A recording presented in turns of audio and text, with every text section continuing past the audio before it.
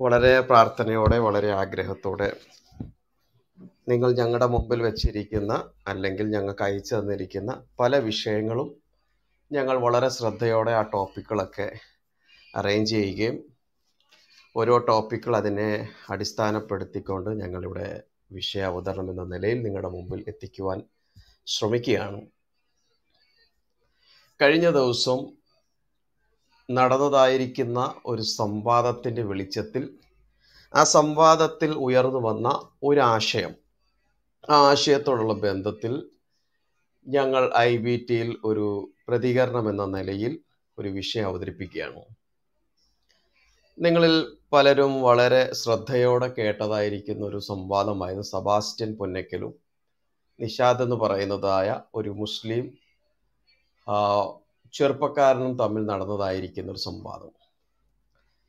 സംവാദം വളരെ മനോഹരമായ നിലയിൽ വളരെ അച്ചടക്കത്തോടെ ഏതാണ്ട് അവസാനം വരെ നീങ്ങിയെങ്കിലും അവസാന നിമിഷങ്ങളിൽ അവിടെ അല്പം തർക്കവും വാദവും ഒക്കെ നടന്നു മൂലം ആ ഓഡിയോ നിങ്ങളെ കേൾപ്പിക്കണമെന്നുണ്ടെങ്കിലും അത് കേട്ടാൽ അത് നല്ല രീതിയിൽ മനസ്സിലാക്കുവാൻ കേൾവിക്കാർക്ക് ഒരു ബുദ്ധിമുട്ടുണ്ടാകുന്നതുകൊണ്ട് ആ ഓഡിയോ പ്ലേ ചെയ്യുന്നില്ല. എങ്കിലും അവിടെ നടന്നതായിരിക്കുന്ന ചർച്ചയിൽ മുസ്ലിം പക്ഷത്തു നിന്നുള്ള പ്രിയ സുഹൃത്ത് അദ്ദേഹം തന്റെ പുസ്തകത്തിൽ പൂർവവേദങ്ങളിൽ അല്ലാഹുവിനെ കുറിച്ച് പറഞ്ഞിരിക്കുന്നു എന്നും ഒരു വാദം അദ്ദേഹം മുമ്പോട്ട് വെക്കുകയും സബാസ്റ്റ്യൻ തിരിച്ച് ഏത് പൂർവവേദങ്ങളിലാണ് അല്ലാഹു എന്ന നാമത്തെക്കുറിച്ച് ഏത് അധ്യായത്തിൽ ഏത് വാക്യത്തിലാണ് പറയുന്നത് എന്ന ഒരു ചോദ്യം മറു ചോദ്യം തിരിച്ചു ചോദിക്കുകയും. അവിടെ നിന്നാണ് ചർച്ച ഏതാണ്ട് മറ്റൊരു തരത്തിലേക്ക് മാറുന്നൊരു കാഴ്ച നമ്മൾ കണ്ടത്. അദ്ദേഹം വളരെ ബുദ്ധിപരമായ നിലയിൽ അദ്ദേഹം പറഞ്ഞൊരു കാര്യം ഇതാണ്. എന്റെ പുസ്തകം പറയുന്നു എന്റെ മതഗ്രന്ഥമായിരിക്കുന്ന ഖുറാൻ പറയുന്നു എന്റെ അല്ലാഹു പറയുന്നു എന്റെ പ്രവാചകൻ പറയുന്നു ഞാൻ അതങ്ങ് വിശ്വസിക്കുകയാണ്. പക്ഷെ അദ്ദേഹത്തോട് വീണ്ടും വീണ്ടും വീണ്ടും ചോദിക്കുകയാണ്. ഈ പൂർവവേദങ്ങൾ എന്ന് പറയുമ്പോൾ അത് ഖുറാൻ അല്ല. ഖുറാൻ എന്തു പറയുന്നു എന്ന് മനസ്സിലാക്കണമെങ്കിൽ ആ പറഞ്ഞത് ശരിയാണോ കളവാണോ എന്ന് മനസ്സിലാക്കണമെങ്കിൽ തീർച്ചയായിട്ടും ആ പൂർവവേദങ്ങളിൽ അല്ലാഹുവിനെ കുറിച്ച് പറഞ്ഞിരിക്കുന്ന ഭാഗങ്ങൾ അല്ലാഹുവിന്റെ പേര് അല്ലാഹുമായി ബന്ധപ്പെട്ട കാര്യങ്ങളൊക്കെ എവിടൊക്കെയാണ് എന്നതിനെക്കുറിച്ച് തെളിവ് കാണിക്കണം. അങ്ങനെ അങ്ങോട്ടും ഇങ്ങോട്ടും ഒക്കെ തർക്കങ്ങൾ നടക്കുകയും ചോദിച്ച ചോദ്യം ഒഴിച്ച് ബാക്കി എല്ലാ ആ ബഹളത്തിനിടെ പറയുകയും ചെയ്യുന്ന മുസ്ലിം സുഹൃത്ത്. അവസാനം അദ്ദേഹം പറഞ്ഞൊരു സ്റ്റേറ്റ്മെന്റ് ആണ് നമ്മുടെ ഇന്നത്തെ ചർച്ചയ്ക്ക് ഒരു കാരണം. അദ്ദേഹം പറഞ്ഞത് ഇങ്ങനെയാണ്. ഞാൻ അദ്ദേഹം ഒരു മുസ്ലിം ആയതുകൊണ്ട് പൂർവവേദങ്ങളിൽ അദ്ദേഹം വിശ്വസിക്കുന്നില്ല. അപ്പൊ വിശ്വസിക്കാത്തൊരു പുസ്തകത്തെ കുറിച്ച് സംസാരിക്കാനോ വിശ്വസിക്കാത്ത ഒരു പുസ്തകത്തിൽ നിന്ന് തെളിവുകൾ കണ്ടെത്താനോ ഈ മാന്യ സുഹൃത്തിന് താല്പര്യമില്ല എന്നുള്ളതാണ്. ഇത് പെട്ടെന്ന് കേട്ടപ്പോൾ അത് കേൾക്കുന്നതായിരിക്കുന്ന ആളുകൾക്ക് അത് എങ്ങനെ ചിന്തിച്ചു എന്നുള്ളത് ഞാൻ ഈ സമയത്ത് ഉറക്കുകയാണ് കാരണം ഇതൊരു മുസ്ലിമിന്റെ വായിൽ നിന്ന് വരുന്നതായിരിക്കുന്ന വളരെ മനോഹരമായിരിക്കുന്ന ഒരു പ്രസ്താവനയാണ്. നിങ്ങൾ ഈ ഞാൻ സാധാരണ മുസ്ലിങ്ങളുടെ കാര്യമല്ല ഞാൻ ഈ പറയുന്നത്. മറിച്ചും മതം പ്രചരിപ്പിക്കുവാൻ വേണ്ടി നമ്മളെ സമീപിക്കുന്ന മുസ്ലിം സുഹൃത്തുക്കൾ പറയുന്നൊരു വാചകമുണ്ട്. ഞങ്ങൾ കിതാബുകളിൽ വിശ്വസിക്കുന്നവരാണ്. പക്ഷെ അവരുടെ വിശ്വാസ പ്രമാണത്തിന്റെ ഒരു വെളിച്ചം ഇങ്ങനെ പഠിച്ചു വരുമ്പോൾ ഞങ്ങൾ ഏകദൈവത്തിൽ വിശ്വസിക്കുന്നു. അതുപോലെ തന്നെ ദൂതന്മാരിൽ വിശ്വസിക്കുന്നു. അതുപോലെ കിതാബുകളിൽ വിശ്വസിക്കുന്നു പ്രവാചകന്മാരിൽ വിശ്വസിക്കുന്നു എന്നൊക്കെ വിധിയിൽ വിശ്വസിക്കുന്നു എന്നൊക്കെ ഒരു ഒരു ലിസ്റ്റ് ഇങ്ങനെ അവർ നിരന്തരം പറയാറുണ്ട്. അപ്പോൾ ഈ വിശ്വാസ പ്രമാണം ഏറ്റു ചൊല്ലുന്ന ഭാഗം വരുമ്പോൾ അല്ലാഹുവിൽ വിശ്വസിക്കുന്നു എന്ന് പറയുമ്പോൾ തന്നെ അല്ലാഹുവിൽ നിന്ന് പുറപ്പെട്ടതായിരിക്കുന്ന ദൂതന്മാരിലും വിശ്വസിക്കുന്നു. അല്ലെങ്കിൽ ഞങ്ങൾ ദൂതന്മാരിലും വിശ്വസിക്കുന്നു. ദൂതന്മാരിൽ മാത്രം വിശ്വസിച്ചാൽ മതി. ഏ ഒരിക്കലും പറ്റത്തില്ല. ദൂതന്മാർ വരുന്നത് വെറും കപ്പലിന്റെ കച്ചവടം ചെയ്യാൻ വേണ്ടിയല്ല. ദൂതന്മാർ വരുന്നത് വെളിപ്പാടുകൾ കൈമാറാൻ വേണ്ടിയാണ് പുസ്തകങ്ങൾ കൈമാറാൻ വേണ്ടിയാണ്. അപ്പൊ ഞങ്ങൾ ആ പുസ്തകത്തിലും വിശ്വസിക്കുന്നു. ഓക്കെ. ഈ പുസ്തകം എവിടെയാണ് ഈ ദൂതന്മാർ കൊടുക്കുന്നത്? അവരത് ഡി സി ബുക്സിലോ മറ്റേതെങ്കിലും ഈ പറയപ്പെടുന്ന ഓക്സ്ഫോർഡ് ബുക്ക് സ്റ്റാളുകളൊന്നുമല്ല മറിച്ച് അവർ പ്രവാചകന്മാർക്കാണ് അത് നൽകുന്നത്. അപ്പൊ അപ്പൊ ദൂതന്മാര് പുസ്തകങ്ങൾ തിരുവെഴുത്തുകളെ കൈമാറുകയും ആ തിരുവെഴുത്ത് കൈമാറുന്നത് പ്രവാചകന്മാരിലായതുകൊണ്ട് ഞങ്ങളെ പ്രവാചകന്മാരിലും വിശ്വസിക്കുന്നു. പിന്നെ ഞങ്ങൾ വിധിയിലും വിശ്വസിക്കുന്നുണ്ട്. കാര്യം ഞങ്ങളുടെ എന്താ പറയുക ഞങ്ങൾ അല്ല ന്യായവിധിയിൽ വിശ്വസിക്കുന്നുണ്ട്. അതിനുശേഷം ഞങ്ങൾ വിധിയിലും അതുപോലെ ഞങ്ങളുടെ ജീവിതമൊക്കെ എന്തൊക്കെ സംഭവിക്കുന്നു അതെല്ലാം തന്നെ ഈ മൂപ്പർ എന്തൊക്കെ എഴുതി വെച്ചതിന്റെ ഭാഗമായിട്ടാണ്. ഈ ഒരു വിശ്വാസ പ്രമാണം വായിച്ചു വരുമ്പോൾ സത്യത്തിൽ ഇത് ആരംഭിക്കുന്നതും അവസാനിക്കുന്നതും മുഹമ്മദിൽ തന്നെയാണ്. അതാണ് ഈ ഈ ഇസ്ലാമിന്റെ ഒരു ഒരു ആ ഒരു ഗെയിമിന്റെ ഒരു പ്രത്യേകത എന്താണെന്ന് ചോദിച്ചാൽ നിങ്ങൾ എവിടെ നിന്ന് കളിച്ചു തുടങ്ങിയാലും അവസാനം അത് എത്തിച്ചേരുന്നത് മുഹമ്മദിലേക്കാണ്. ഇപ്പൊ ഞാൻ ഈ പറഞ്ഞതായിരിക്കുന്ന വിശ്വാസ പ്രമാണം ഒന്ന് നിങ്ങൾ ചിന്തിക്കുക. ആ പ്രമാണം പരിശോധിച്ചാൽ മനസ്സിലാകുന്ന ഒരു കാര്യം മുഹമ്മദ് എന്ന് പറയുകയാണ്. ഞാനൊരു പ്രവാചകനാണ്. അതിനെന്താണ് തെളിവ്? അല്ലാഹു എന്ന ദൈവം ജിബ്രിയൽ എന്ന മലാക്ക് വഴി എനിക്ക് തന്നതായിരിക്കുന്ന പുസ്തകം സന്ദേശമാണ് ഇത്. അപ്പൊ നി ആ ആ അത്രയും ഭാഗം പറഞ്ഞപ്പോൾ തന്നെ എന്തൊക്കെ വന്നു? അല്ലാഹു അല്ലാഹുവിന് ശേഷം ദൂതൻ ദൂതൻ മൂന്ന് പുസ്തകം നാല് ഇദ്ദേഹം ഒരു പ്രവാചകനാണ്. അപ്പൊ നമ്മൾ ഈ ഇതൊക്കെ കൊള്ളാൻ പക്ഷെ ഞാൻ അതങ്ങോട്ട് വിശ്വസിക്കുന്നില്ല. അപ്പോഴാണ് അഞ്ചാമത്തെ പ്രമാണം തിളങ്ങി വരുന്നത്. അങ്ങനെ വിശ്വസിക്കാത്തവന്മാർക്ക് എന്താണ്? ഭാവിയിൽ ന്യായവിധി ഉണ്ടാവുമ്പോൾ എല്ലാത്തിനും എടുത്തിട്ട് അങ്ങ് എറിഞ്ഞ ഒരു പരിപാടി അവിടെ ഉണ്ട്. എന്നെ വിശ്വസിക്കാത്തവൻ എല്ലാം തന്നെ എന്ത് ചെയ്യും? ഇതിന്റെയൊക്കെ ഗതി വളരെ മോശമായിരിക്കും. ഓക്കെ ഇനി അങ്ങ് വിശ്വസിക്കുക എന്ന് സങ്കല്പിക്കുക. വിശ്വസിച്ച ശേഷം സംഭവിക്കുന്ന കാര്യങ്ങളോ അതൊക്കെ നിന്റെ വിധിയാണെന്ന് അങ്ങ് എന്ത് ചെയ്യുക? നീ അങ്ങ് ചിന്തിക്കുക. അപ്പൊ കറങ്ങിത്തിരിഞ്ഞ് എവിടെയാണ് വരുന്നത്? മുഹമ്മദിലേക്ക് തന്നെയാണ് വരുന്നത്. അപ്പൊ ഈ പ്രമാണങ്ങളിൽ പറയപ്പെടുന്ന ഞങ്ങൾ കിതാബുകളിൽ വിശ്വസിക്കുന്നു എന്നുള്ളതാണ്. ഇതാണ് സാധാരണ മുസ്ലിങ്ങൾ പറയുന്നത്. പക്ഷേ ഇവിടെ ഒരു ചങ്ങാതി പറയുന്നത് ഞാൻ അത് വിശ്വസിക്കുന്നില്ല. ഞാൻ അത് എന്ത് ചെയ്യുന്നില്ല? വിശ്വസിക്കുന്നില്ല. ഈ വാഗുണ്ടൊരു കാര്യം പറയുകയും പ്രവൃത്തി കൊണ്ട് മറ്റൊരു കാര്യം ചെയ്യുന്ന ഒരു പ്രത്യേക കഴിവുള്ള ഒരു ഗ്രൂപ്പാണ് ഈ ദാവാക്കാരെന്ന് പറയുന്നത്. ഞാൻ എല്ലാ മുസ്ലിങ്ങളുടെയും കാര്യമുള്ള ദാവാക്കാരെന്ന്. വാഗുണ്ട് ഞങ്ങൾ കിതാബുകളിൽ വിശ്വസിക്കുന്നു എന്ന് പറയുമ്പോൾ ഈ ഐ ബി ടി ഗ്രൂപ്പിൽ കടന്നു വന്നതായിരിക്കുന്ന സുഹൃത്തുക്കൾ പ്രത്യേകിച്ച് ഇസ്ലാമിക വിഷയങ്ങളെക്കുറിച്ചും അവരുടെ അടിസ്ഥാന ഉപദേശങ്ങളെക്കുറിച്ചും അറിവില്ലാത്ത വ്യക്തികൾക്ക് ഇത് എന്തായി പറയുന്നത് ചിലപ്പോൾ മനസ്സിലാകില്ല അതുകൊണ്ട് അവരെയും കൂടി മനസ്സിൽ വെച്ചുകൊണ്ടാണ് ഞാൻ വളരെ വെള്ളം ചേർത്ത് ഡൈല്യൂട്ട് ചെയ്ത് നിങ്ങളുടെ ഭാഗത്ത് ഞാൻ വിഷയം അവതരിപ്പിക്കുന്നു. എന്ന് വെച്ചാൽ ഖുറാൻ എന്ന പുസ്തകം ഇറങ്ങുന്നതിന് മുമ്പേ കുറച്ച് കിതാബുകളും എന്ത് ചെയ്തിട്ട് വന്നിട്ടുണ്ടെന്നുള്ള വിശ്വാസം. അതിന്റെ അകത്ത് പ്രധാനമായിട്ട് നിൽക്കുന്നതായ കിതാബുകൾ എന്ന് പറയുന്നത് ഒന്ന് സബൂർ തൗറാത്തും പിന്നെ ഇഞ്ചിലും. അല്ലെങ്കിൽ തൗറാത്ത് സബൂർ ഇഞ്ചിൽ ഈ തൗറാത്ത് എന്ന് പറയുന്നത് മൂസ എന്ന് പറഞ്ഞ അല്ലാഹുവിന്റെ ഏതോ ഒരു പ്രവാചകൻ ഉണ്ടായിരുന്നു ആ പ്രവാചകന് ഏതോ ഒരു കാലഘട്ടത്തിൽ മൂപ്പർ കൊടുത്തതായിരിക്കുന്ന ഒരു കിതാബായിട്ടാണ് പറയുന്നത്. സബൂർ എന്ന് പറയുന്നത് ദാവൂദ് എന്ന് പറയുന്ന ഏതൊരു പ്രവാചകൻ ഉണ്ടായിരുന്നു ആ പ്രവാചകന് കൊടുത്തതായിരിക്കുന്ന കിതാബ്. ഇഞ്ചിൽ എന്ന് പറയുന്നത് ഈസ എന്ന് പറയുന്നതായിരിക്കുന്ന ഏതോ ഒരു പ്രവാചകൻ ഉണ്ടായിരുന്നു ആ പ്രവാചകന് കൊടുത്തതായിരിക്കുന്ന കിതാബ്. പക്ഷെ ഈ പുസ്തകങ്ങൾ കൂടാതെ തന്നെ അല്ലാവിന്റെ സന്ദേശം എന്ത് ചെയ്യാണ്? ഈ ഒരു ലക്ഷത്തിലധികം പ്രവാചകന്മാരെ ലോകത്തെമ്പാട് വായിക്കുകയും അവരിലൂടെയൊക്കെ സന്ദേശങ്ങൾ കൈമാറുകയും ചെയ്തു എന്നുള്ളതാണ്. പക്ഷേ ഈ ദാവാക്കാരുടെ ഒരു തിയറി എന്ന് പറയുന്നത് ഞങ്ങൾ കിതാബുകളിൽ വിശ്വസിക്കുന്നു എന്ന് അല്ലെങ്കിൽ ഈ ഖുറാനെ ഉൾപ്പെടെ ഖുറാന് മുമ്പേ വന്നതായിരിക്കുന്ന പുസ്തകങ്ങളിൽ ഞങ്ങൾ വിശ്വസിക്കുന്നു എന്ന് ഒരു ഭാഗത്ത് പറയുമ്പോൾ തന്നെ ഇവർ പറയുന്ന ഒരു കാര്യമുണ്ട്. ഞങ്ങൾ ഈ പറയപ്പെടുന്നതായ കിതാബുകൾ എന്തൊക്കെയോ നമുക്ക് ലോകത്തിൽ ലഭ്യമാണോ? അതിന്റെ അകത്ത് ഞങ്ങൾ എന്ത് ചെയ്യാണ്? അത് തിരുത്തപ്പെട്ടു എന്ന് വിശ്വസിക്കുന്നവരാണ്. ബൈബിൾ പുതിയ നിയമം തിരുത്തപ്പെട്ടതാണ് പഴയ നിയമം തിരുത്തപ്പെട്ടതാണ് അങ്ങനെ എല്ലാ കിതാബുകളും ഈ തൗറാത്ത് തിരുത്തപ്പെട്ടു സബൂർ തിരുത്തപ്പെട്ടു ഇഞ്ചിൽ തിരുത്തപ്പെട്ടു. അങ്ങനെ എല്ലാ കിതാബുകളും തിരുത്തപ്പെട്ടതാണ് എന്നാണ് വിശ്വാസം. പക്ഷെ എന്താണ് വിശ്വാസ പ്രമാണം പറയുന്നത്? ഞങ്ങൾ കിതാബുകളിൽ വിശ്വസിക്കുന്നു എന്നുള്ളതാണ്. പക്ഷെ ഇവരെന്ത് ചെയ്യുകയാണ്? ഇവരെന്താണ് പറയുന്നത്? ഞങ്ങൾ കിതാബുകൾ തിരുത്തപ്പെട്ടതാണെന്ന് വിശ്വസിക്കുന്നവരാണ്. നോക്കണേ അല്ലാഹുവിനോട് അനുസരണക്കേട് എങ്ങനെയാണ് കടന്നു വരുന്നത് നിങ്ങൾ ശ്രദ്ധിക്കുക.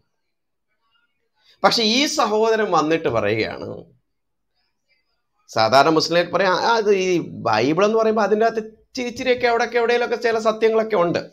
എല്ലാം അല്ലെന്നേ ഉള്ളൂ കേട്ടോ. അതെങ്ങനെയാണ് ഈ സത്യങ്ങൾ തീരുമാനിക്കുന്നത്? അത് ഞങ്ങളുടെ പുസ്തകമായിട്ട് ഏതൊക്കെയാണ് യോജിച്ചു വരുന്നത്? അതാ ഞങ്ങൾ വിശ്വസിക്കുക. അങ്ങനെ അല്ലല്ലോ ഇസ്ലാം പറയുന്നത്. ഇപ്പൊ ഒരു ഉദാഹരണത്തിന് പറയുമ്പോൾ ഒരു ഭാഗത്ത് ഒരു മുസ്ലിമിനോട് ചോദിക്കുക നിങ്ങൾ ഒരു മുസ്ലിമിനോട് ചോദിക്കുക മോശയുടെ പഞ്ചഗ്രന്ഥങ്ങൾ എന്ന പേരിൽ പെന്റാറ്റുക്ക് എന്ന പേരിൽ പഴയ നിയമത്തിൽ കാണപ്പെടുന്നതായ ഈ പുസ്തകം ഇതാണോ തൗറാത്ത്? എന്ന് ചോദിച്ചാൽ ദാവാക്കാരൻ പറയും അല്ല അല്ല അല്ല അല്ല ഇതൊരിക്കലും തൗറാത്തല്ല. ഓക്കെ. കേസ് തീർന്നു. കാര്യം അദ്ദേഹം എന്ത് ചെയ്യുന്നില്ല? മൂസയ്ക്ക് ഇറക്കി കൊടുത്തതായിരിക്കുന്ന തൗറാത്ത് ഇതാണെന്ന് അദ്ദേഹം വിശ്വസിക്കുന്നത് അടുത്ത് നാല് സുവി മത്തായ് മർക്കോസ് ലൂക്കോസ് യോഹന്നാൻ. ഈ നാല് സുവിശേഷങ്ങളാണോ ഇഞ്ചിൽ?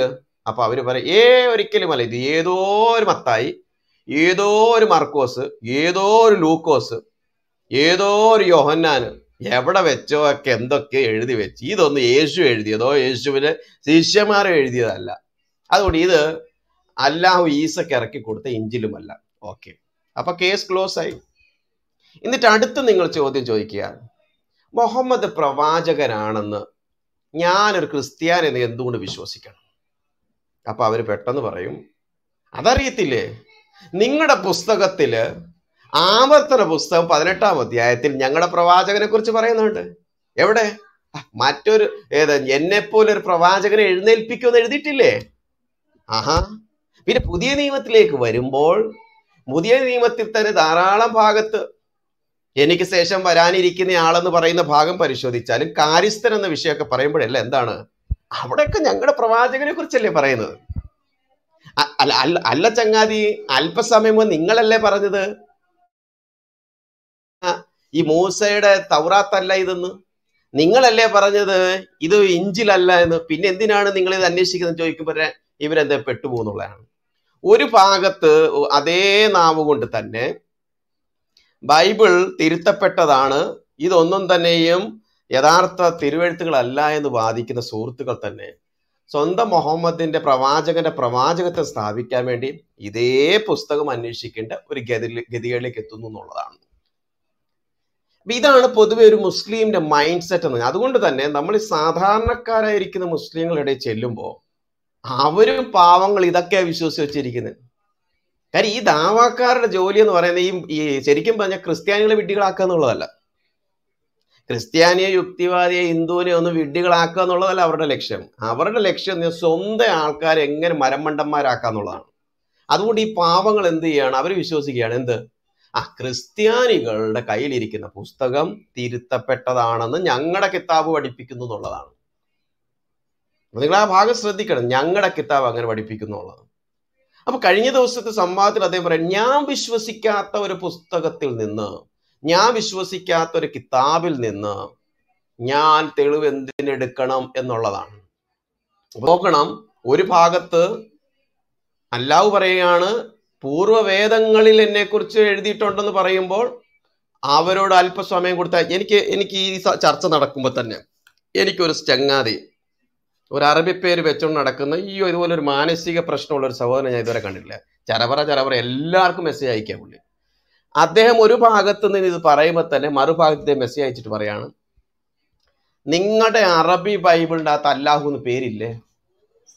നിങ്ങളുടെ അറബി ബൈബിളിന്റെ അകത്ത് അല്ലാഹു എന്നുള്ള പേര് എഴുതിയിട്ടില്ലേ?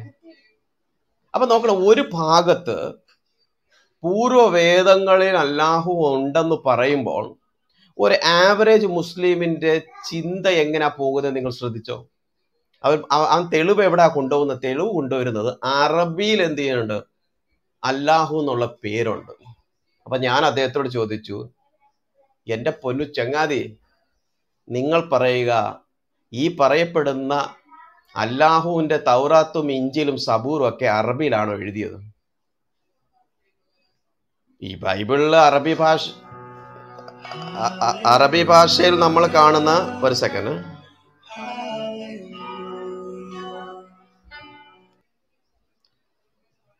ഓക്കെ സഹോദരങ്ങളെ സിജോ കേക്കാവോ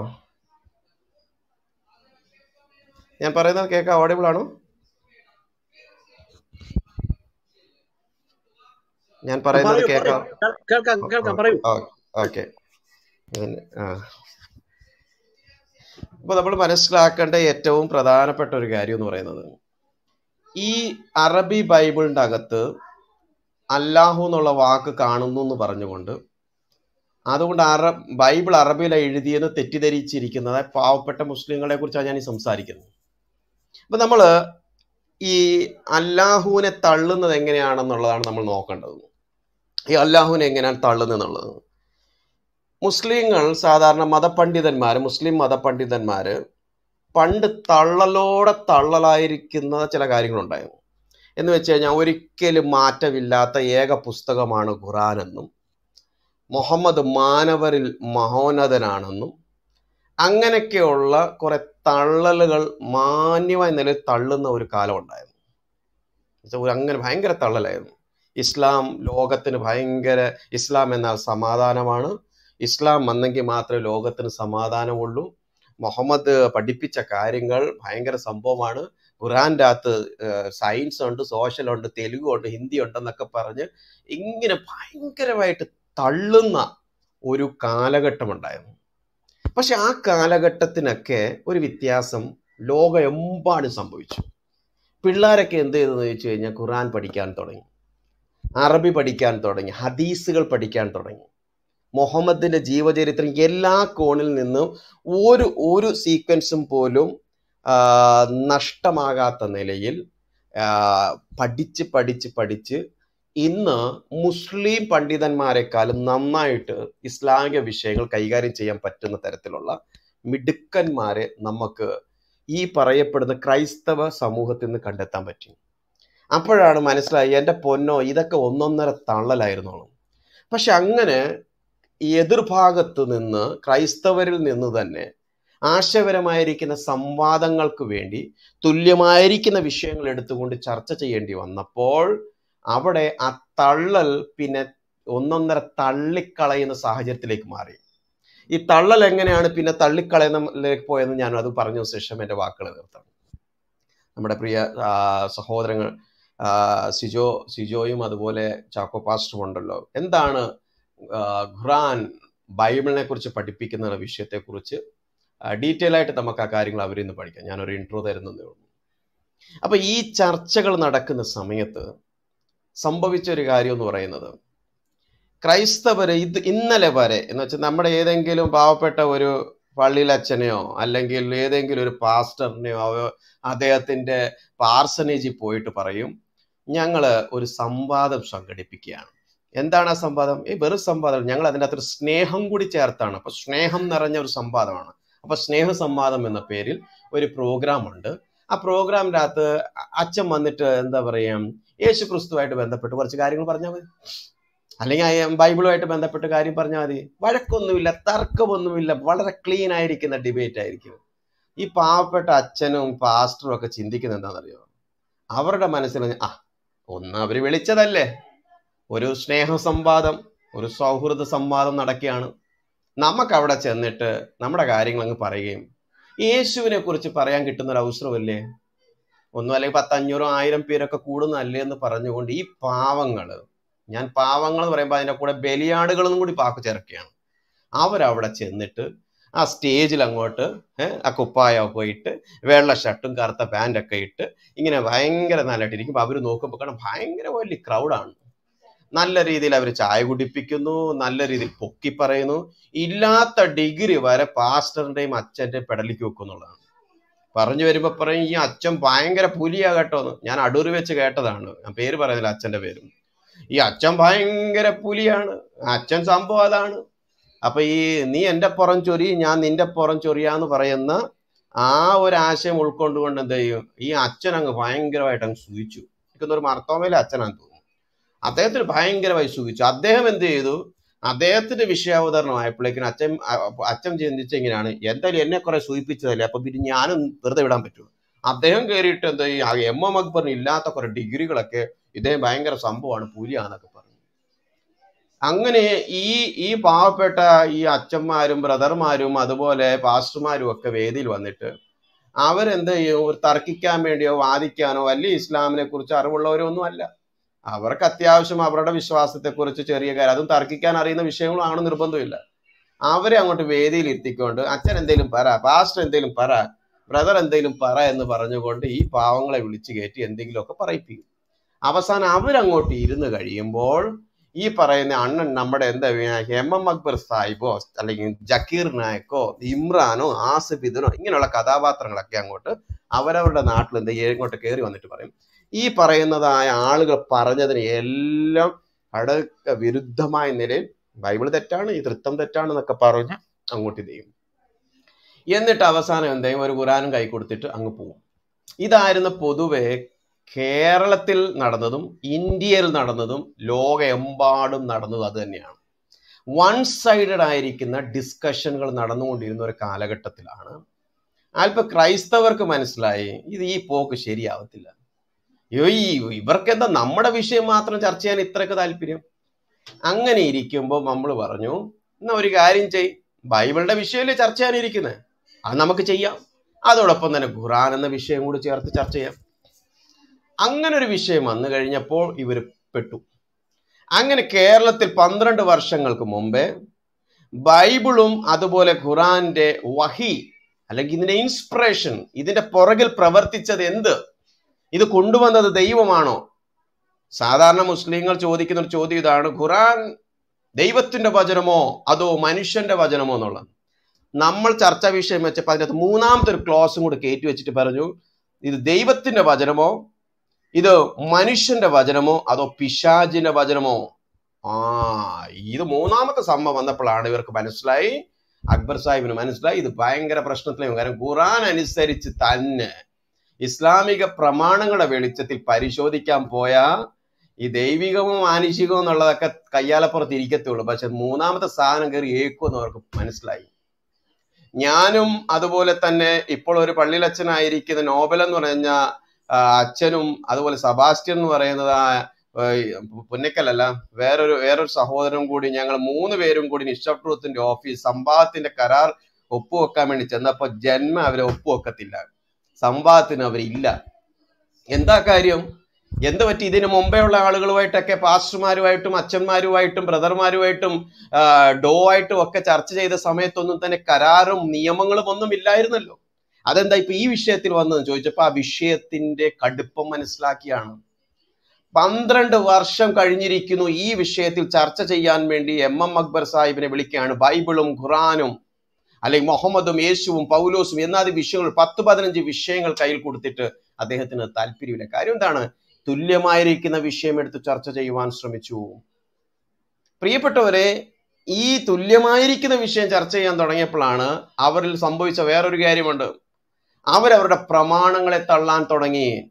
അതാ പണ്ട് തള്ളുമായിരുന്നു ഇപ്പൊ തള്ളാൻ തുടങ്ങി. ഈ പറയപ്പെടുന്നതായ തമിഴ്നാടുൽ ആ, തമിഴ്നാട്ടിൽ പി ജെ എന്ന് പറയുന്നതായ മുസ്ലിം പണ്ഡിതൻ രണ്ട് ദിവസം രണ്ട് ദിവസം മാത്രം നീണ്ടു നിന്നതായ ഒരു സംവാദം. രാവിലെ തുടങ്ങി വൈകിട്ട് അവസാനിക്കുന്ന ഒരു സംവാദത്തിൽ. ആ സംവാദത്തിൽ തന്നെ ചെറപറ ചെറപറ അവർ ഹദീസുകളെ അവർ നിഷേധിക്കാൻ തുടങ്ങി. അവരുടെ പ്രമാണം രണ്ടാം പ്രമാണം എന്ന് വിശേഷിപ്പിക്കുന്ന ഹദീസുകളെ തള്ളിക്കളയാൻ തുടങ്ങി. പോരാത്തതിന് ഇവിടെ നിന്ന് നിഷ് ഓഫ് ട്രൂത്തിന്റെ പ്രവർത്തകർ കാറും പിടിച്ച് അവിടെ ചെന്നിട്ട് പറയുകയാണ് എന്റെ പൊന്നു എന്റെ പൊന്നു ദീനിന്റെ മക്കളെ ഈ പറയുന്ന സാക്ഷ്യമായിട്ട് നിങ്ങൾ സംവാദത്തിന് പോലെ അവർ ഹദീസിൽ നിന്ന് അവിടുന്ന് അവിടുന്ന് വാക്യമെടുക്കും ഇവിടുന്ന് വാക്യമെടുക്കും ആകെ പുലിവാലാവൂ എന്നൊക്കെ പറഞ്ഞിട്ട് അവർ വല്ലപ്പോഴൊക്കെ മലയാളി പറയുന്ന തമിഴൻ അനുസരിക്കണ്ടേ? അവരനുസരിച്ചില്ല എന്നിട്ട് എന്ത് പറ്റി? ആ പി ജെയുടെ സംവാദം പൊട്ടിയത് മാത്രമല്ല അദ്ദേഹത്തിന്റെ പ്രസ്ഥാനം കഷ്ണം കഷ്ണങ്ങളെ തമ്മിലടി തുടങ്ങി. കാരണം എന്താണ്? ഇവർ പലതും തള്ളാൻ തുടങ്ങി. ഇനി നോക്കുക ഈ ഇപ്പോൾ തർജമ ചെയ്യുന്നതായിരിക്കുന്ന ഹദീസുകൾ നോക്കുക. ഇവർ തർജമ ചെയ്യുന്നതായ ഖുറാൻ നോക്കുക എല്ലായിടത്തും കൃത്രിമം നടത്താൻ തുടങ്ങി. ലോകയെമ്പാടും അവരിറക്കുന്നതായ പുസ്തകങ്ങളിൽ എന്ത് ചെയ്യും? അട്ടിമറി നടത്താൻ തുടങ്ങി. അല്ലാഹുവിന്റെ പ്രമാണങ്ങളെ ആർക്കും തിരുത്തുവാൻ കഴിയത്തില്ല ഇവർ തന്നെ തിരുത്താൻ തുടങ്ങി. ഇവർ തന്നെ അത് തഫ്സീറുകൾ തിരുത്താൻ തുടങ്ങി. ഇവർ പ്രവാചകന്റെ ചരിത്രത്തെ തന്നെ തിരുത്താൻ തുടങ്ങി. കാരണം എന്താണ്? ഇപ്പോൾ ക്രൈസ്തവരുടെ ഭാഗത്തു നിന്നും വളരെ തെളിവുകളുടെ വെളിച്ചത്തിൽ ചർച്ചകൾ മുമ്പോട്ട് നടക്കുമ്പോൾ സംഭവിക്കുന്ന കാര്യമാണ്. ഇപ്പൊ നോക്കുക ഈ ഖുറാനിൽ തന്നെ അല്ലാഹു തന്നെ പറയുന്ന ഒരു കാര്യമാണ് തൗറാത്തും ഇഞ്ചിലും സബൂറും തിരുത്തപ്പെട്ടതാണ് ഒരിടത്തും പോലും പറയുന്നില്ല. ഇത് കേൾക്കുന്നതായിരിക്കുന്ന മുസ്ലിം സുഹൃത്തുക്കൾ ഖുറാന്റെ വെളിച്ചത്തിൽ തൗറാത്തും ഇഞ്ചിലും സബൂറും തിരുത്തപ്പെട്ടതാണെന്ന് തെളിയിക്കാൻ പറ്റുന്ന സുഹൃത്തുക്കൾക്ക് മുകളിലോട്ട് വരാൻ ഞങ്ങൾ സമയം തരാം. വിഷയത്തിൽ നിന്ന് സംസാരിക്കുകയാണെങ്കിൽ സമയം ഞങ്ങൾ നിങ്ങൾക്ക് തരാം. നിങ്ങളുടെ വാദം കൂടി ഞങ്ങൾക്ക് കേൾക്കാൻ താല്പര്യമാണ്. ഖുറാന്റെ വെളിച്ചത്തിൽ പരിശോധിക്കുമ്പോൾ മുഹമ്മദിന് അവതരിപ്പിച്ചു തന്നതിൽ എന്തെങ്കിലും സംശയമുണ്ടെങ്കിൽ നീ വേദക്കാരോട് അല്ലെങ്കിൽ ഇത് വെളിപ്പെട്ട് കിട്ടിയിരിക്കുന്ന വേദക്കാരോട് ചെന്ന് അന്വേഷിക്കാനാണ് പറയുന്നത്. തൗറാത്തും ഇഞ്ചിലും ഒക്കെ പ്രകാശമുണ്ടെന്നും മാർഗദർശനമുണ്ടെന്നും ഖുറാൻ പറയുകയാണ്. ഞാൻ വാക്യങ്ങളൊന്നും വായിക്കുന്നില്ല. കാര്യം എനിക്ക് ഇതിന് ശേഷമുള്ള സഹോദരങ്ങൾ അത് നന്നായിട്ട് അവതരിപ്പിക്കുന്നതാണ് അപ്പൊ ഖുറാന്റെ വെളിച്ചത്തിൽ ഇതിൽ വിശ്വസിക്കാൻ വേണ്ടി മുസ്ലിങ്ങളെ നിർബന്ധിക്കുകയാണ്. പക്ഷെ ഇവർ ചെയ്തത് എന്താണ്? അല്ലാഹുവിനെ തന്നെ തള്ളിപ്പറഞ്ഞ്. ഇപ്പൊ അവർ പറയുന്ന വാദം എന്താണ്? എന്റെ പൊൻ അല്ലാഹുവെ പിടിച്ചു നിൽക്കാൻ വളരെ ബുദ്ധിമുട്ടാണ്. അതുകൊണ്ട് നീ കൂടുതൽ കയറി ഞങ്ങളുടെ എന്ത് ചെയ്യണം? കഴുത്തെ പിടിക്കണ്ട. കുറച്ചു നേരത്തേക്ക് നീ മാറി നിൽക്കുക എന്നുള്ളതാണ്. അല്ലാഹുവിനെ തന്നെ തള്ളിപ്പറയുന്ന ഒരു ദാവ സംസ്കാരം കേരളത്തിൽ രൂപപ്പെട്ടു. നോർത്ത് ഇന്ത്യയിൽ രൂപപ്പെട്ടു. ലോകമെമ്പാടും രൂപപ്പെട്ടു. പതുക്കെ പതുക്കെ അല്ലാഹുവിനെയും തള്ളിക്കളയുന്നു. മുഹമ്മദിനെ തള്ളിക്കളയുന്നു. അപ്പൊ നിങ്ങൾ ചോദിക്കും മുഹമ്മദിനെ എങ്ങനെയാണ് തള്ളിക്കളയുന്നത്? ഈ ഖുറാൻ ഓൺലി എന്ന് പറയുന്ന കൂട്ടർ ആരാണ്? ഹദീസുകൾ മുമ്പോട്ട് വെക്കുന്നതായിരിക്കുന്ന മുഹമ്മദിൽ അവർക്ക് വിശ്വാസമില്ല. കാരണം എന്താണ്? അവർ പറയുന്നത് സാമാന്യ ബോധ്യവും സാമാന്യ ബുദ്ധിയും വിവരമുള്ള മനുഷ്യൻ ഉൾക്കൊള്ളുവാൻ പറ്റാത്തത് ആരോ പിന്നീട് കയറ്റി ചേർത്തതാണെന്നുള്ളതാണ് അപ്പൊ മുഹമ്മദിനെ തള്ളാൻ തുടങ്ങി അല്ലാഹുവിനെ തള്ളാൻ തുടങ്ങി ഇപ്പൊ പതുക്കെ പതുക്കെ ഖുറാനെ പോലും തള്ളാൻ തുടങ്ങിയാണ് ഹദീസുകളെ തള്ളാൻ തുടങ്ങി. ഇനി കുറച്ച് സംവാദങ്ങൾ കൂടെ നടന്നു കഴിഞ്ഞാൽ പലതും തള്ളൽ മാറ്റിയിട്ട് തള്ളിക്കളയുന്ന നിലയിലേക്ക് കാര്യങ്ങൾ എത്തുമെന്ന കാര്യത്തിൽ യാതൊരു സംശയമില്ല ഓക്കെ ചാക്കോ പാസ്റ്റർ ലൈനിലുണ്ടോ? ചാക്കോ പാസ്റ്റർ കേൾക്കാമോ ചാക്കോ പാസ്റ്റർ കേൾക്കാമോ ഹലോ?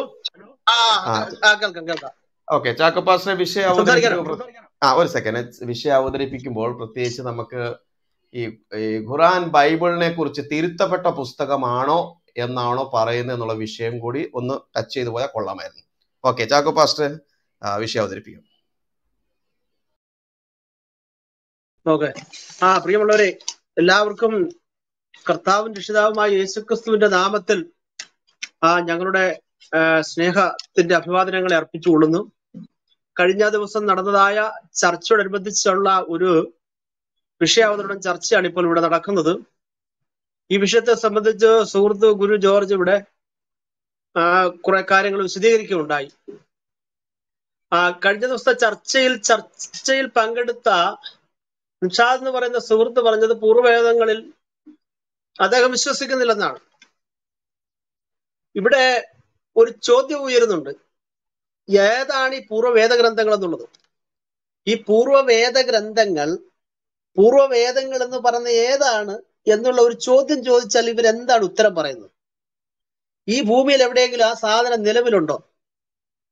ഉണ്ടെങ്കിലല്ലേ വിശ്വസിക്കാനൊക്കത്തുള്ളൂ. വിശ്വസിക്കുന്നില്ല എന്ന് പറയുമ്പം സാധനം ഇവിടെ എവിടെയോ കിടപ്പുണ്ട്. പക്ഷെ അതിൽ അദ്ദേഹം വിശ്വസിക്കുന്നില്ല എന്നാ പ്രശ്നം. പക്ഷെ അത് ഇസ്ലാമിക പരിപ്രേക്ഷ്യത്തിൽ നിന്ന് പറഞ്ഞാൽ ഗുരുതരമായ വീഴ്ചയാണ്. അള്ളാഹുവിങ്കൽ ശിക്ഷ വാങ്ങുന്നതായ കൃത്യമായ കാര്യമാണ്. ഈ റൂമിൽ മുസ്ലിം സുഹൃത്തുക്കൾ ആരെങ്കിലും ഉണ്ടെങ്കിൽ നിങ്ങൾ ഇന്നലെ സെബാസ്റ്റ്യനുമായിട്ട് ചർച്ച ചെയ്തപ്പോൾ അദ്ദേഹത്തിന്റെ എതിർപക്ഷത്ത് നിന്ന് സംസാരിച്ച പ്രിയ സുഹൃത്ത് പറഞ്ഞതുപോലെയുള്ളതായ കാര്യങ്ങൾ നിങ്ങൾ പറയരുത്. അത് നിങ്ങളുടെ പ്രമാണം അനുസരിച്ച് നിങ്ങൾക്ക് നരകത്തിൽ പോകാനായിട്ട് എളുപ്പ വഴിയാകും അതായത് നിലവിൽ പൂർവവേദ ഗ്രന്ഥങ്ങളുണ്ട് പക്ഷെ ഞങ്ങൾ വിശ്വസിക്കുന്നില്ലെന്നാണ് ആ പറഞ്ഞതിന്റെ വാച്യാർത്ഥം.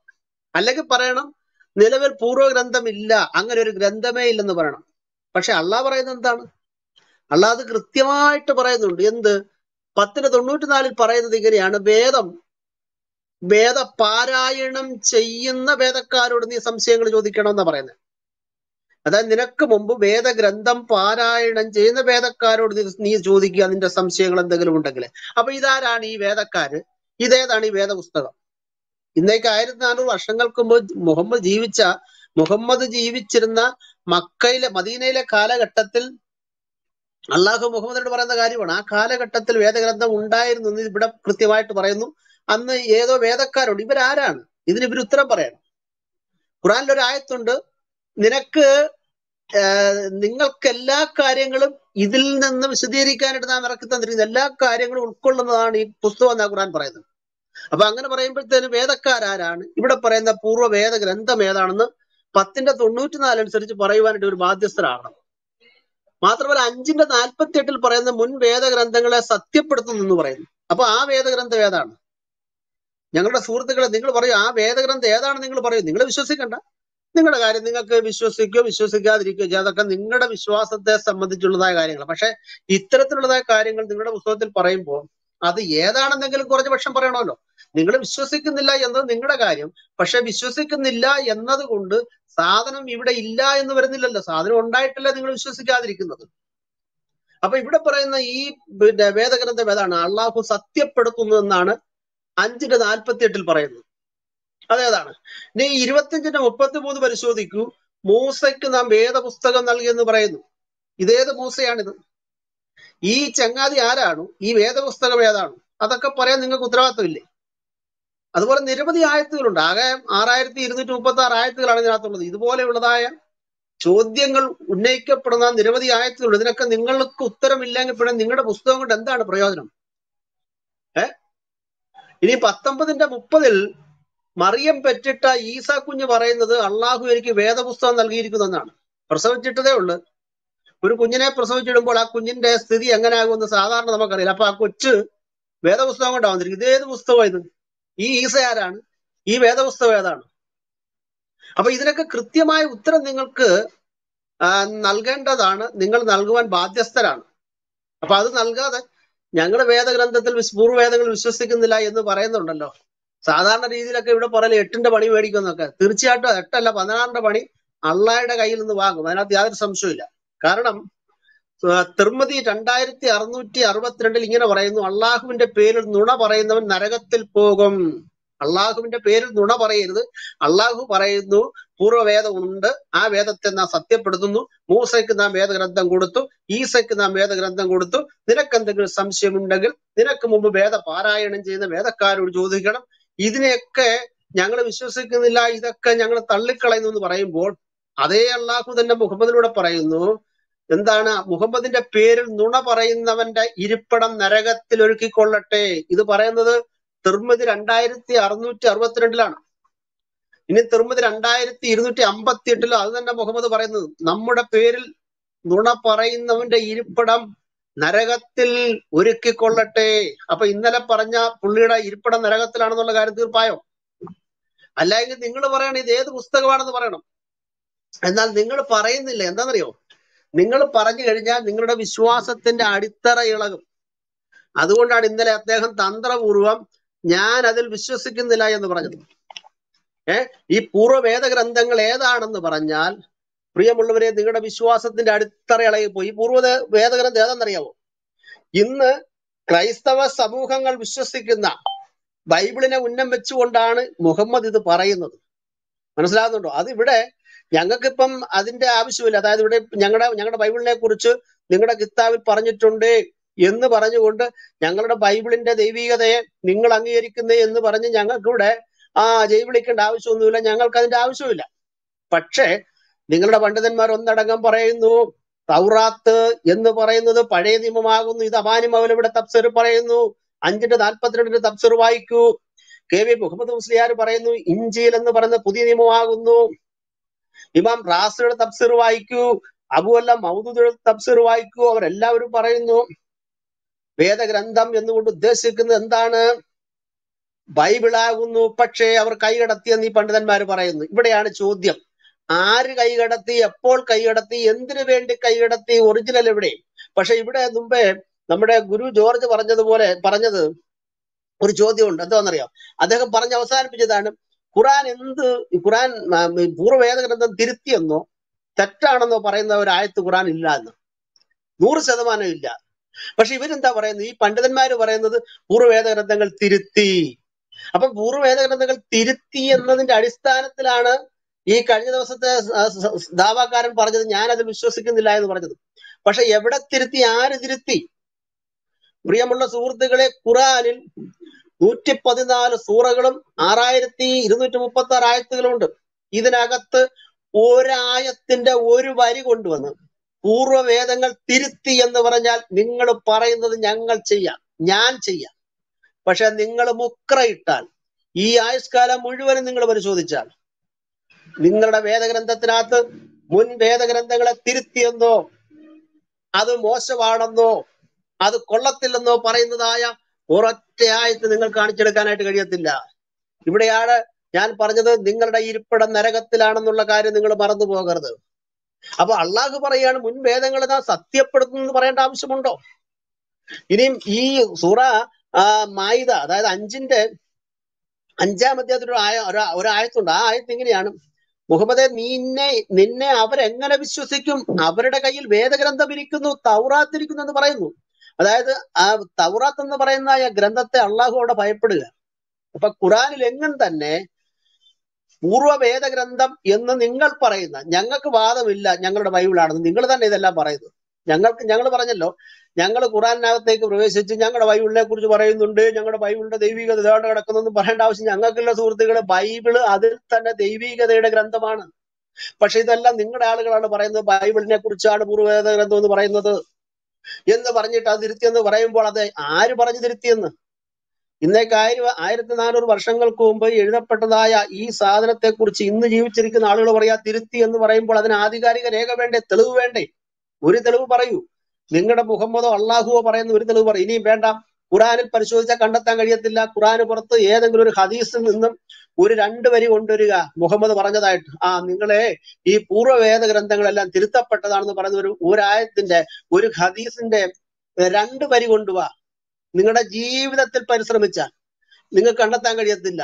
നിങ്ങളുടെ ജീവിതത്തിൽ അത് നിങ്ങൾക്ക് കിട്ടിയിരുന്നെങ്കിൽ നിങ്ങൾ അത് വെച്ച് ഞങ്ങൾക്ക് ഞങ്ങളുടെ നേരെ നിങ്ങൾ കുതിര കയറിയാനെ. പക്ഷെ അങ്ങനെ ഒരു സംഭവമില്ല മുഹമ്മദിന് ഈ മതഗ്രന്ഥം മെടഞ്ഞെടുക്കുവാൻ കാരണം തന്നെ അന്നത്തെ വേദക്കാരായ ക്രിസ്ത്യാനികളും അവരുടെ കയ്യിരുന്ന വിശുദ്ധ ഗ്രന്ഥവുമാണ്. അറബികളിൽ നിന്നും അവരുടെ ദുരാചാരങ്ങളിൽ നിന്നും അവരുടെ മ്ലേ- മ്ലേച്ഛമായ നടപടികളിൽ നിന്നും കുറെ വാരിയെടുത്ത് ഒരു മതം സ്ഥാപിച്ചപ്പോൾ തന്നെ തന്റെ ഇഷ്ടാനിഷ്ടങ്ങളെല്ലാം അതിനകത്ത് കുത്തിക്കയറ്റിയ മതഗ്രന്ഥത്തിൽ. അതോടൊപ്പം തന്നെ ഏകേശ്വര വിശ്വാസം കിട്ടിയത് ക്രൈസ്തവ യഹൂദ സമൂഹത്തിൽ നിന്നാണ്.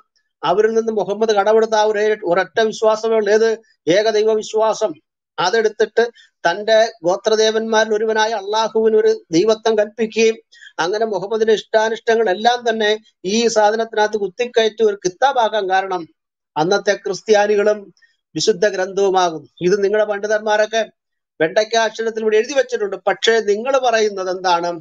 വേദം തിരുത്തി വേദം തിരുത്തി അതുകൊണ്ട് ഞങ്ങൾ വിശ്വസിക്കത്തില്ല. അവരോട് എനിക്ക് ഒന്നുകൂടെ പറയാനുള്ളത്. എന്താണ്?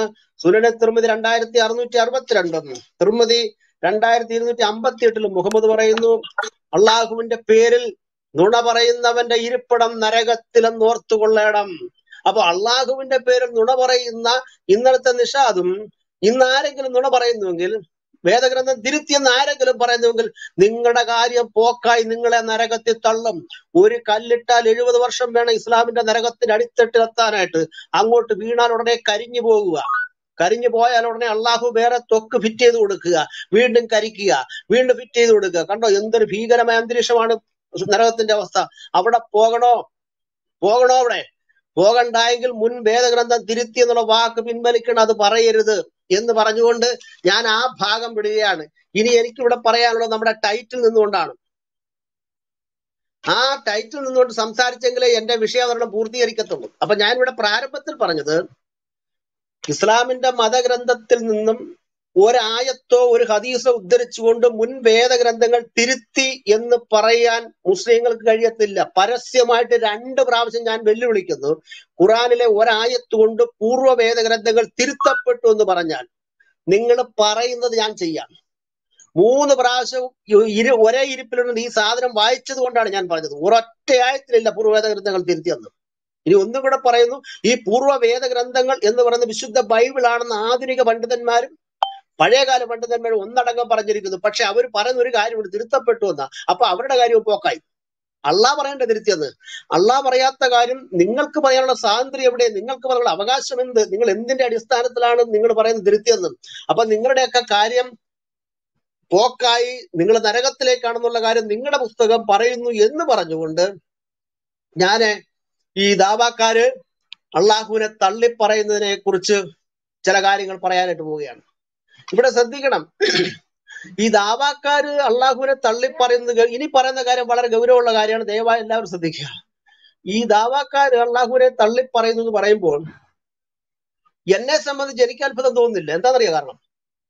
ദാവാക്കാർക്ക് മുമ്പ് തന്നെ മുഹമ്മദിന്റെ സഹാബാക്കൾ അള്ളാഹെ അള്ളാഹുവിനെ തള്ളി പറഞ്ഞത് അത് ഇതേ വാസ്തവത്തിൽ ഇന്നലെ സെബാസ്റ്റ്യൻ ഉദ്ധരിക്കേണ്ടതായിരുന്നു. അദ്ദേഹത്തിന്റെ ചർച്ച എനിക്ക് കേൾക്കാൻ കഴിഞ്ഞില്ല. കേട്ടവർ പറഞ്ഞതിൽ നിന്നും അദ്ദേഹം ഇത്തരത്തിലുള്ള ഹദീസുകളൊക്കെ ഉദ്ധരിച്ച് വരുന്നെങ്കിൽ തീർച്ചയായിട്ടും എതിരാളിയെ കണ്ടം വഴി ഓടിയാനെ അതായത് ദാവാക്കാര് അള്ളാഹുവിനെ തള്ളുന്നതിനും നൂറ്റാണ്ടുകൾക്ക് മുമ്പ് തന്നെ സഹാബാക്കൾ മുഹമ്മദിന്റെ അനുയായികൾ മുഹമ്മദിന്റെ ഉറ്റ ചങ്ങാതിമാർ ഈ മുഹമ്മദിന്റെ അള്ളാഹുവിനെ തള്ളിക്കളഞ്ഞിരുന്നു. ഞാനൊരു ഹദീസ് വായിക്കുന്നു. ഇനി ഇവിടെ വായിക്കുന്ന ഹദീസുകളൊക്കെ തന്നെ സഹീഹായ ഹദീസുകളാണ് മാത്രമല്ല ഇസ്ലാമിക മതഗ്രന്ഥത്തിൽ മാത്രമേ ഇവിടെ ഞാൻ പറയുകയുള്ളൂ.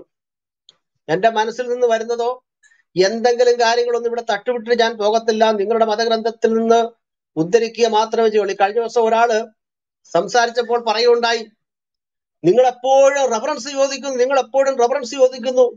ഞങ്ങളെ കൊണ്ട് സംസാരിക്കാൻ അനുവദിക്കുന്നു ഇതായിരുന്നു ആ സുഹൃത്തിന്റെ പരാതി. ചേട്ടാ ഞങ്ങളെ റഫറൻസ് എല്ലാം പിന്നെ എന്തോ ചോദിക്കണ്ടേ?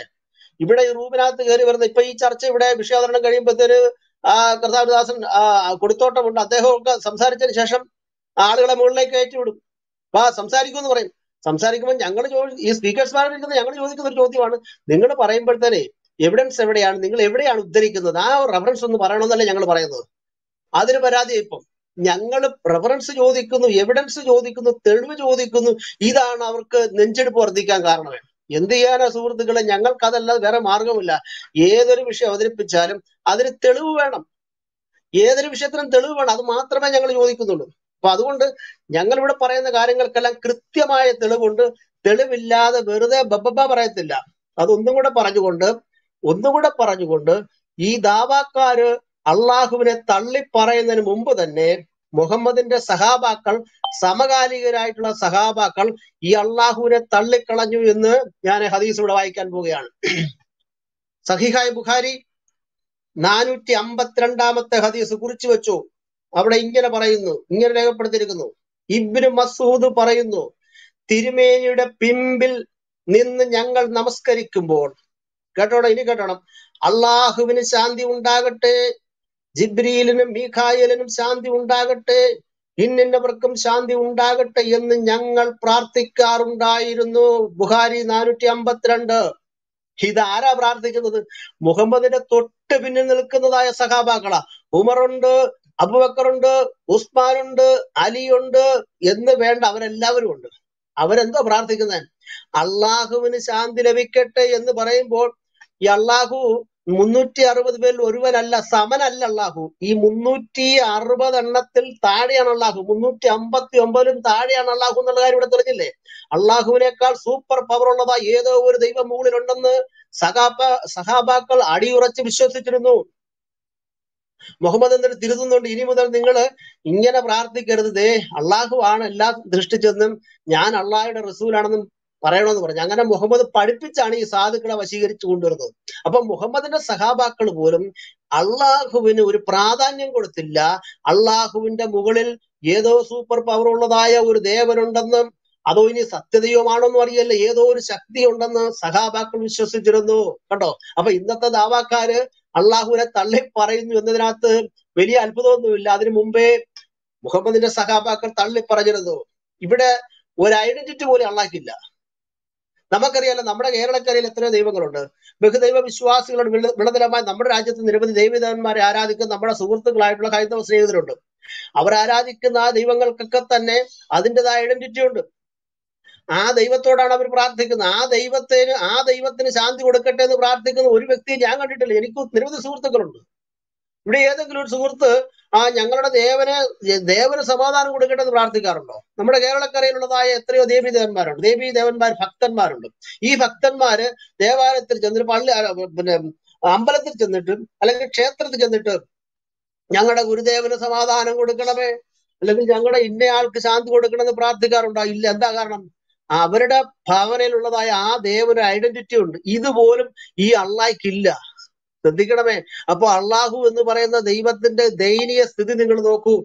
അള്ളാഹുവിന് ആ യാതൊരു പ്രാധാന്യവും അന്നത്തെ സഖാബാക്കൾ കൊടുത്തിരുന്നില്ല. അവർ അള്ളാഹുവിന്റെ മനസമാധാനത്തിന് വേണ്ടി പ്രാർത്ഥി. എന്തൊരു ഗതികേടെന്ന് നോക്കണമേ ഇതുപോലെ ഒരു ദൈവമുണ്ടോ സുഹൃത്തുക്കളെ? ഇതിനെയാണ് ഇവർ വലിച്ചു നീട്ടി ഒരു ദൈവമാക്കാനായിട്ട് ശ്രമിക്കും ഇത് ഇന്നലെ സെബാസിനെ അടിക്കേണ്ടതായിരുന്നു. ഏതായാലും ഞാൻ ഒന്നും കൂടെ പറയുന്നു. മുന്നൂറ്റി അറുപത് മുന്നൂറ്റി അറുപത് ദേവീ ദേവന്മാരിൽ ആ മുന്നൂറ്റി അറുപതിനോടൊപ്പം സമനായിട്ട് നിൽക്കുകയോ അതിനേക്കാൾ ഒരു ഇഞ്ച് മുകളിലോ അല്ലായിരുന്നു അള്ളാഹുവിന്റെ സ്ഥാനം പിന്നെയോ മുന്നൂറ്റി അമ്പത്തി ഒമ്പതിൽ താഴെയായിരുന്നു അദ്ദേഹത്തിന്റെ ഗ്രാഫ് അതുകൊണ്ടാണ് ഇവർ പ്രാർത്ഥിച്ചത്.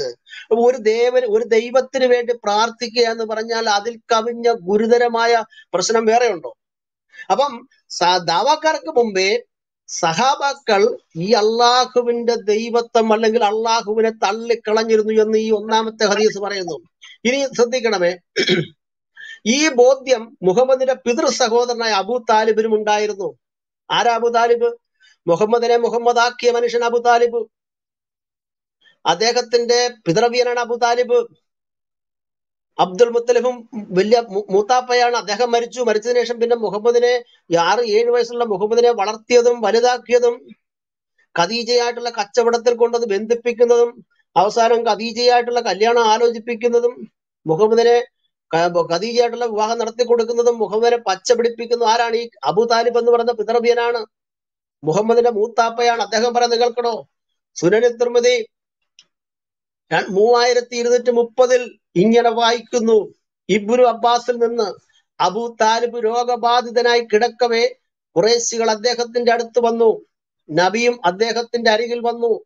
അപ്പോൾ അബൂ താലിബ് റസൂലിനോട് ചോദിച്ചു എന്റെ സഹോദരപുത്ര താങ്കൾ താങ്കളുടെ സമൂഹത്തിൽ നിന്ന് എന്താണ് ആഗ്രഹിക്കുന്നത്? തിരുമേനി പറഞ്ഞു അവർ ഒരു ഒറ്റ വചനം പ്രഖ്യാപിക്കണമെന്നാണ് ഞാൻ ആഗ്രഹിക്കുന്നത്. എങ്കിൽ അറബികൾ അവർക്ക് കീഴടങ്ങും. അനറബികൾ അവർക്ക് ജസ്സിയ നൽകും. അബുദാലിബ് ചോദിച്ചു ഒരു ഒറ്റ വചനമോ? തിരുമേനി പറഞ്ഞു അതെ ഒരൊറ്റ വചനം. എന്നിട്ട് റസൂൽ പറഞ്ഞു അല്ലയോ പിതൃവ്യ നിങ്ങൾ ലായിലാഹ ഇല്ലല്ലാഹു എന്ന് പറയുക. അദ്ദേഹം ചോദിച്ചു ഒറ്റ ദൈവമോ? ഇത് ഞങ്ങൾ താങ്കൾക്ക് മുമ്പ് മറ്റൊരു സമുദായത്തിലും കേട്ടിട്ടില്ല തന്നെ. ഇത് കെട്ടി ഉണ്ടാക്കിയ നുണയാണ്. അബുതാലിബ് പറയാണ് അബുതാലിബ് പറയാണ് മുഹമ്മദ് നീ പറയുന്ന ഈ ഒരു ദൈവം എന്ന് പറയുന്ന സങ്കല്പം ഉണ്ടല്ലോ. ഈ അള്ളാഹു ഒരു ദൈവമാകുന്നു എന്ന് പറഞ്ഞതായ ആ കാര്യം നിനക്ക് മുമ്പ് ഒരു സമുദായത്തിൽ ഞങ്ങൾ കേട്ടിട്ടില്ലെന്നാ പറയുന്നത്. ഞങ്ങളുടെ സമുദായം കേട്ടിട്ടില്ല. ഇത് നീ കെട്ടിയുണ്ടാക്കിയ നുണയാണെന്നാ പറയുന്നത്. അപ്പം ദാവാക്കാർക്ക് മുമ്പേ മുഹമ്മദിന്റെ സഹാബാക്കളും മുഹമ്മദിന്റെ പിതൃവ്യനും ഈ അള്ളാഹുവിനെ തള്ളിക്കളഞ്ഞുവെന്ന് ഈ രണ്ട് ഹദീസുകൾ വളരെ കൃത്യമായി പറയുന്നു. ഈ അബു താലിബ് പറഞ്ഞതായ ഈ സംഭവം ഉണ്ടല്ലോ. ഖുറാനിന്റെ എഴുത്തുകാർ ഖുറാനിൽ എഴുതി വെച്ചിട്ടുണ്ട്. അതാണ് ഏറ്റവും ബഹുരസം എന്ന് പറയുന്നത്. അതായത് അബു താലിബിന്റെ വാക്കുകൾ ഖുറാനിലും എഴുതി. അതാണ് സൂറത്ത് സാദ് ഏഴാമത്തെ ആയത്തിൽ കാണുന്നത്. അതായത് മുപ്പത്തി എട്ടിന്റെ ഏഴിൽ വായിക്കുന്നത് ഇങ്ങനെയാണ്. അവിടെ ഇങ്ങനെ പറയുന്നു ഇതിനെപ്പറ്റി നാം കേൾക്കുണ്ടായിട്ടില്ല ഇതൊരു കൃത്രിമ സൃഷ്ടി അല്ലാതെ മറ്റൊന്നുമല്ല. അതായത് ഇതിനെപ്പറ്റി എന്ന് പറഞ്ഞാൽ അള്ളായെ ഒരു ദൈവമാക്കണം എന്നതിനെ പറ്റി പണ്ട് കേട്ടിട്ടില്ല എന്നാണ് ഇവിടെ പറഞ്ഞിരിക്കുന്നത്. അപ്പൊ ഈ രണ്ട് ഹദീസുകളിലും ഖുറാനിക ആയത്തുകളും വ്യക്തമാകുന്നത് മുഹമ്മദിന്റെ സഹാബാക്കൾ അന്ന് തന്നെ അള്ളാഹുവിനെ തള്ളിക്കളഞ്ഞിരുന്നു. ഒരു ദൈവമെന്നോ മുന്നൂറ്റി അറുപതിൽ ഒരെണ്ണമെന്നോ ലാത്ത ഉസ മനാത്ത എന്നിവരോടൊപ്പം ഒന്നും അവർ അംഗീകരിച്ചിരുന്നില്ല. അവർക്കും താഴെയായിരുന്നു ഇദ്ദേഹത്തിന്റെ നിലവാരം. നീ ഹദീസ് പറയുന്നു അല്ലെങ്കിൽ നിങ്ങൾ പറയും എന്താണ് ഇതിന്റെ അർത്ഥം? അള്ളാഹയുടെ മനസമാധാനത്തിന് വേണ്ടി പ്രാർത്ഥിക്കുന്നു പറയുമ്പോൾ അള്ളാഹുവിന് മുകളിൽ ഒരു ദൈവമില്ലേ? ഇപ്പൊ നമ്മളിപ്പം എനിക്ക് വേണ്ടി പ്രാർത്ഥിക്കുക നിങ്ങൾ ആരെങ്കിലും അല്ലെങ്കിൽ നിങ്ങൾക്ക് വേണ്ടി ഞാൻ പ്രാർത്ഥിക്കുക എന്ന് പറയുമ്പോൾ നിങ്ങൾ താഴെയാണ് നിങ്ങൾക്ക് മുകളിൽ ദൈവമുണ്ട്. അള്ളാഹുവിന് വേണ്ടി പ്രാർത്ഥിക്കുന്ന അള്ളാഹുവിന് മുഖത്തിൽ വേറെ ശക്തിയുണ്ട്. അള്ളാഹു താഴെ പോയില്ലേ? അള്ളാഹുവിനെ മൂലക്കിരുത്തിയില്ലേ? അപ്പൊ ഇന്നത്തെ ദാവാക്കാരെ പ്ലീസ് നിങ്ങൾ കുറ്റം പറയരുത്. അവരുടെ കുറ്റമല്ല അവർ പഠിച്ചതല്ലേ പാടത്തുള്ളൂ അവർ പഠിച്ചതാണ്. അവരിങ്ങനെ ഹദീസുകളൊക്കെ പഠിച്ച് പഠിച്ച് പഠിച്ച് വന്നതിന്റെ പരിണിത ഫലമാണ് അവരിന്ന് അള്ളാഹുവിനെ തള്ളിപ്പറയാൻ കാരണമെന്ന് പറഞ്ഞുകൊണ്ട് ഞാൻ ആ ഭാഗം വിടുകയാണ്. ഇനി മുഹമ്മദ് അള്ളാഹുവിനെ തള്ളിപ്പറയുന്നത് കേൾക്കണോ? ഈ മുഹമ്മദ് അള്ളാഹുവിനേക്കാൾ അള്ളാഹുവിനെ ഓവർടേക്ക് ചെയ്ത് അള്ളാഹുവിന്റെ മുന്നിൽ നിൽക്കുന്നതായ രംഗം വേണമെങ്കിൽ ഞാൻ വായിച്ചു കേൾപ്പിക്കാം. അപ്പൊ അള്ളാഹു മുഹമ്മദിനോടൊപ്പം പോലും ഇല്ല. മുഹമ്മദിനോടൊപ്പം പോലും അള്ളാഹുവില്ല. മറിച്ച് മുഹമ്മദിനേക്കാൾ ജ്ഞാനം കുറഞ്ഞ അറിവ് കുറഞ്ഞ വളരെ പരിമിതിയുള്ള ഒരാളാണ് ഈ അള്ളാഹു എന്ന് മുഹമ്മദ് കൃത്യമായി തെളിയിക്കുന്ന ഹദീസിലൂടെ ഉണ്ട്. നോക്കൂ ഞാനത് വായിക്കുന്നു. സഹിഹായ് ബുഖാരി ആയിരത്തി അറുന്നൂറ്റി തൊണ്ണൂറ്റി നാല് ബുഖാരി ഹദീസാണ്. ആയിരത്തി ആയിരത്തി അറുന്നൂറ്റി തൊണ്ണൂറ്റി നാലിൽ ഇപ്രകാരം രേഖപ്പെടുത്തിയിരിക്കുന്നു. അനസ് പറയുന്നു ഒരു ദിവസം തിരുമേനി ഒരു പ്രസംഗം ചെയ്തു. അതിൽ തിരുമേനി അരുളി ഞാൻ അറിയുന്നതെല്ലാം നിങ്ങൾക്കറിവുണ്ടായിരുന്നെങ്കിൽ നിങ്ങൾ കുറച്ചു മാത്രം ചിരിക്കുകയും കൂടുതൽ കരയുകയും ചെയ്യുമായിരുന്നു. ഇത് കേട്ടപ്പോൾ തിരുമേനിയുടെ അനുയായികൾ കരഞ്ഞുകൊണ്ട് മുഖം പൊത്തി. ഒരാൾ തിരുമേനിയോട് ചോദിച്ചു എന്റെ പിതാവ് ആരാണ്? ഇന്നയാളാണെന്ന് തിരുമേനി മറുപടി കൊടുത്തു. ആ സന്ദർഭത്തിലാണ് സൂറത്ത് മായുത നൂറ്റിയൊന്ന് അവതരിച്ചത്. അവിടെ ഇങ്ങനെ വായിക്കുന്നു വിശ്വസിച്ചവരെ ചില കാര്യങ്ങളെ കുറിച്ച് നിങ്ങൾ ചോദിക്കാതിരിക്കുക അവൻ വെളിപ്പെടുത്തി നിങ്ങൾക്ക് പ്രയാസകരമായിരിക്കും. നിങ്ങൾക്ക് വല്ലത് മനസ്സിലായോ? ഈ പറഞ്ഞൊരു കാര്യം വല്ലതും മനസ്സിലായോ? കൃത്യമായിട്ട് അതായത് തന്തയില്ലാത്ത ഒരു ചെറുക്കനെ ഒരുത്തനെ അപ്പനില്ലാത്ത ഒരുവൻ വന്നിട്ട് ആ എന്റെ അപ്പൻ ആരാണെന്ന് മുഹമ്മദിനോട് ചോദിച്ചു. ആ കാലഘട്ടത്തിൽ അങ്ങനെയുള്ള ഒരു- ഒരുപാട് പേരുണ്ടല്ലോ. മുഹമ്മദിനോട് ചോദിച്ചു എന്റെ അപ്പൻ ആരാണെന്ന്? ചോദിച്ചപ്പോൾ മുഹമ്മദ് പറഞ്ഞു നിന്റെ അപ്പൻ ഇന്നായിടത്തെ ഇന്നാരാന്ന് പറഞ്ഞു. അതങ്ങ് ഒത്ത് അയാൾ തന്നെയായിരുന്നു അവന്റെ അപ്പനെ. സംഗതി ശരി തന്നെ. അയാളെ തന്നെയാണ് അയാൾ തന്നെയാണ് അവന്റെ അപ്പൻ. ഉടനെ അള്ളാഹു പറയുകയാണ് ഇത് കേട്ടോണ്ട് അള്ളാഹു പറയണ്ട വിശ്വസിച്ചവരെ ഇത്തരത്തിലുള്ള കാര്യങ്ങൾ നിങ്ങൾ എന്നോട് ചോദിക്കരുത്. ഞാൻ ഇതൊക്കെ പറഞ്ഞാൽ നിങ്ങൾക്ക് പ്രയാസം ഉണ്ടാക്കുമെന്ന്. മനസ്സിലായോ? അതായത് ആ പറഞ്ഞതിന്റെ പൊരുൾ എന്താണെന്നറിയോ? അപ്പനില്ലാത്ത ഒരു ചെറുക്കൻ വന്ന് തന്തയില്ലാത്ത ഒരുത്തൻ വന്ന് അള്ളാഹോട് ചോദിക്കുക എന്റെ തന്ത ആരാന്ന് ചോദിക്കുകയും അള്ളാഹ് ഒരാളുടെ പേര് പറയുകയും ആ പേര് പറയപ്പെട്ടവൻ ആ ചെറുക്കന്റെ അപ്പനല്ലാതാകുകയും ചെയ്താൽ ഉണ്ടാകുന്ന ദുരന്തം മുന്നിൽ കണ്ടുകൊണ്ടാണ് അള്ളാഹ് പറയുന്നത്. നിങ്ങൾ ചില കാര്യങ്ങളെ കുറിച്ച് നമ്മളോട് ചോദിക്കരുത്. അത് പറഞ്ഞു തന്നാലേ നിങ്ങൾക്ക് നിങ്ങളുടെ പ്രശ്നം ഉണ്ടാകുന്നു. ഇവിടെ കുടുംബത്ത് ജീവിക്കുന്ന അന്തസ ജീവിക്കുന്ന ഏതെങ്കിലും ഒരുവനെ ചൂണ്ടിക്കാണിച്ചിട്ട് നിന്റെ അപ്പൻ താ താമസിക്കുന്നതാണെന്ന് പറഞ്ഞാൽ എങ്ങനെ ഇരിക്കും പരിപാടി?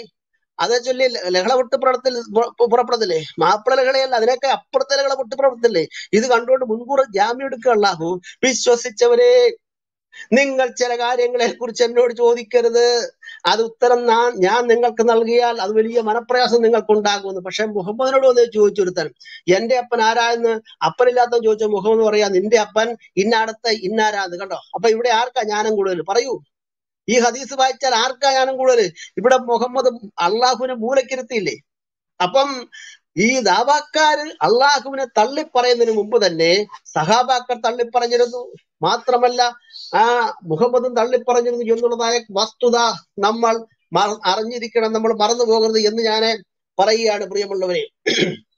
നോക്ക ഇനി അള്ളാഹുവിനെ മുഹമ്മദ് വീണ്ടും തള്ളിപ്പറയുന്നതായ കാര്യങ്ങൾ ഞാൻ ചില കാര്യങ്ങളോട് വായിക്കുന്നു. അതായത് മുഹമ്മദ് വീണ്ടും അള്ളാഹുവിനെ തള്ളിപ്പറയുന്നു. മാത്രമല്ല അള്ളാഹുവിനെ തള്ളിയിട്ട് മുഹമ്മദ് ഗോത്ര ദൈവങ്ങളെ പിടിക്കുന്നു. ഈ വസ്തുത മതപണ്ഡിതന്മാർ ഇവിടെ ശരിവയ്ക്കുന്നു. നോക്കൂ അതായത് അള്ളാഹുവിനെ മുഹമ്മദ് തള്ളിപ്പറഞ്ഞതിന് ശേഷം ഗോത്ര ദൈവങ്ങളിൽ ആശ്രയിക്കുന്നു മുഹമ്മദ്.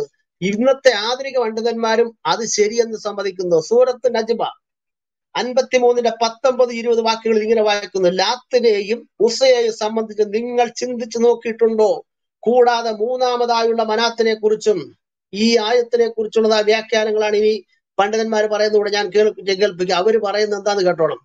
അവർ പറയുന്നത് ഇങ്ങനെയാണ്. അമാനും അവനോട് വ്യാഖ്യാനം ഇങ്ങനെ. തിരുമേനി സൂറത്തിന് നജ്മ ഊതി കേൾപ്പിക്കുമ്പോൾ അതിൽ ലാത്ത ഉസ എന്നീ വിഗ്രഹങ്ങളെ പറ്റി പ്രസ്താവിച്ച ശേഷം അവയെ പ്രശംസിച്ചുകൊണ്ട് ചില വാക്കുകൾ തിരുമേനി അറിയാതെ പിശാജ് പിശാജിന്റെ വകയായി കൂട്ടിപ്പറഞ്ഞു പോയി ഇത് കേട്ടപ്പോൾ അവിശ്വാസികൾ സന്തോഷിച്ചു. അതായത് എവിടെയോ കിടന്നതായ ഈ പെണ്ണുങ്ങൾ അതായത് ഈ അമ്പത്തി മൂന്നിന്റെ പത്തൊമ്പത് ഇരുപത് വാക്യങ്ങളിൽ അള്ളാഹുവിന്റെ മക്കളാന്ന് ഇവിടെ പറയുന്നത് ഇലാത്ത ഉസാമനാത്ത അപ്പൊ ഇവരെ കുറിച്ച് പറഞ്ഞപ്പോൾ ഇവരെ പ്രശംസിച്ചും അള്ള മുഹമ്മദ് ഇനി ഇത് പൂർത്തീകരിക്കണമെങ്കിൽ മറ്റു ചില ഭാഷാതാക്കളുടെ വ്യാഖ്യാനം കൂടെ കേൾക്കണം. അമാനിയുടെ പൂർണത പൂർണമല്ല. ഇനി താഴോട്ട് വായിക്കാം. കെ വി മുഹമ്മദ് ഹുസൈൻ പറഞ്ഞ ഇങ്ങനെയാണ്. ഒരിക്കൽ മുസ്ലിങ്ങളും ഉള്ള സദസ്സിൽ നബി സൂറത്ത് നജ്മ ഓതുകയുണ്ടായി. ആ സൂറത്തിലെ ലാത്ത ഉസ എന്നിവയെക്കുറിച്ചും മറ്റേ മൂന്നാമത്തെ മനാത്തിനെ കുറിച്ചും നിങ്ങളൊന്ന് എന്നോട് പറഞ്ഞു തരൂ എന്നീ വാക്യങ്ങൾ ഓതി. നബി നിർത്തിയതക്കം നോക്കി ശവിക്കപ്പെട്ട പിശാജ് ആ ബിംബങ്ങൾ ഉന്നതരായ നേതാക്കളും അവരുടെ ശുപാർശ ആഗ്രഹിക്കപ്പെടുന്നതുമാണ് എന്നുള്ള വചനങ്ങൾ ചൊല്ലി. ഇത് കെ വി മുഹമ്മദ് മുസ്ലിയാരുടെ ഖുറാന്റെ വിശുദ്ധ ഖുറാൻ വിവരണം വാള്യം മൂന്ന് പേജ് അഞ്ഞൂറ്റി ഒമ്പതിൽ രേഖപ്പെടുത്തിയിരിക്കുന്നു. സൂറ ഇരുപത്തിരണ്ടിലും അമ്പത്തിരണ്ടിലും അതിനോട് ചേർത്ത് അദ്ദേഹം വ്യാഖ്യാനിച്ചിട്ടുണ്ട്. അപ്പൊ ഇവിടെ അള്ളാഹുവിനേക്കാൾ ഉന്നതരാണ് ഈ രണ്ട് മൂന്ന് ദൈവങ്ങൾ അത് ഇവിടെ പറഞ്ഞിരിക്കുന്നത് ഈ പണ്ഡിതന്മാർ പറയുന്ന അപ്പൊ തീർന്നില്ലേ? ഇനി അടുത്തത് ഇമാം റാസിയുടെ വ്യാഖ്യാനം കേൾക്കൂ. നബി സൂറത്ത് അജമാധ്യായം ഓതി നമസ്കരിക്കാൻ തുടങ്ങി. അതിലെ പത്തൊമ്പത് ഇരുപത് സൂക്തങ്ങൾ ഓതിയപ്പോൾ പിശാജ് പ്രകാരം പറഞ്ഞു. എന്തോ പറഞ്ഞത്? അദ്ദേഹം അത് അവിടെ അറബിയിൽ എഴുതിയിട്ടുണ്ട്. ഇതിന് മലയാളത്തിൽ പറഞ്ഞിരിക്കും മലയാളത്തിൽ രേഖപ്പെടുത്തിയത് ഇങ്ങനെയാണ്. അവ ഉന്നത ദേവതകളാണ്. അവരിൽ നിന്ന് ശുപാർശ ഗ്രഹി ആഗ്രഹിക്കപ്പെടുന്നതാണ്. കണ്ടോ? അള്ളാഹുവിനെ ഇവിടെ മലർത്തിയടിച്ചില്ലേ? അള്ളാഹുവിന് എന്താണ് ഇവിടെ സ്ഥാനം? മുഹമ്മദ് തന്നെ അള്ളാഹുവിന് അപ്രമാദിത്വം ഈ ബഹുദൈവങ്ങൾക്ക് അപ്രമാദിത്വം കൊടുത്തില്ലേ? ഇനിയും ഈ ആയത്തിനെ കുറിച്ച് ഈജിപ്ഷ്യൻ പണ്ഡിതൻ ഡോക്ടർ മുഹമ്മദ് ഹുസൈൻ ഹൈക്കൽ രചിച്ച മുഹമ്മദ് എന്ന പുസ്തകത്തിൽ പുസ്തകത്തിൽ എൺപത്തഞ്ചാമത്തെ പേജിൽ അദ്ദേഹം രേഖപ്പെടുത്തിയിരിക്കുന്നതും സി എൻ അഹമ്മദ് മൗലവിയുടെ രേഖയും കൂടെ വായിക്കുമ്പോൾ നമുക്ക് കാര്യങ്ങൾ കൃത്യമായിട്ട് ബോധ്യപ്പെടും. മുഹമ്മദ് എന്ന പുസ്തകത്തിൽ ഹൈക്കൽ പറയുന്നത് ഇങ്ങനെയാണ്. കുറേശികളുടെ നിരന്തരമായ മർദ്ദനം നടന്നുകൊണ്ടിരുന്ന ഒരു സന്ദർഭത്തിൽ നബി അവർക്ക് സൂറത്ത് നജ്മ അതായത് അമ്പത്തി മൂന്നാം അധ്യായം വായിച്ചു കേൾപ്പിച്ചു. ലാത്തയെയും ഉസയെയും നീ കണ്ടില്ലേ? മൂന്നാമനായ മനാത്തയെയും എന്ന് വായിച്ച ശേഷം ഉന്നതരായ ദേവന്മാരാണവർ. ഉന്നതരായ ദേവന്മാരാണവർ. അവരുടെ ശുപാർശ നിശ്ചയമായും പ്രതീക്ഷിക്കാവുന്നതാണ് എന്നുകൂടി വായിച്ചു. തുടർന്ന് ആ അധ്യായം പാരായണം ചെയ്തു തീർക്കുകയും പ്രവാചകനും മുസ്ലിങ്ങളും സാഷ്ടാംഗം നമിക്കുകയും ചെയ്തു. ഒപ്പം ബഹുദൈവ വിശ്വാസികളും നമിച്ചു.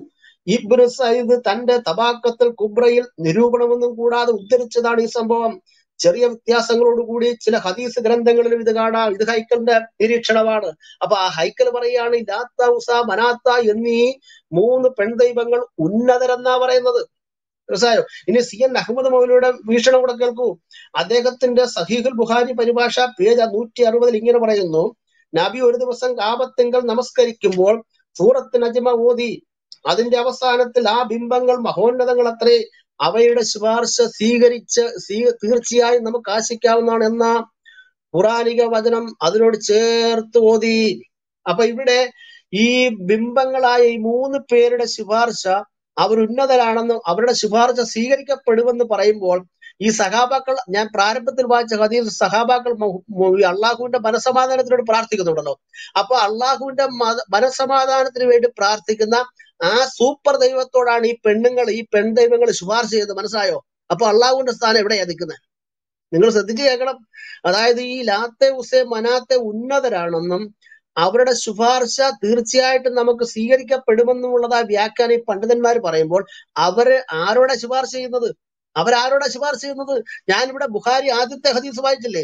ആദ്യത്തെ ഹദീസ് അതായത് ബുഹാരി നാനൂറ്റി അൻപത്തിരണ്ടിൽ സഹാബാക്കൾ മുഹമ്മദിന് അള്ളാഹുവിന് മനഃശാന്തി ഉണ്ടാകട്ടെ എന്ന് പറയുമ്പോൾ അള്ളാഹുവിന്റെ മുകളിലുള്ള സൂപ്പർ ദൈവത്തോടാണ് ഇവർ ശുപാർശ ചെയ്യുന്നത്. അപ്പൊ അള്ളാഹുവിന്റെ സ്ഥാനം എവിടെയാണ്?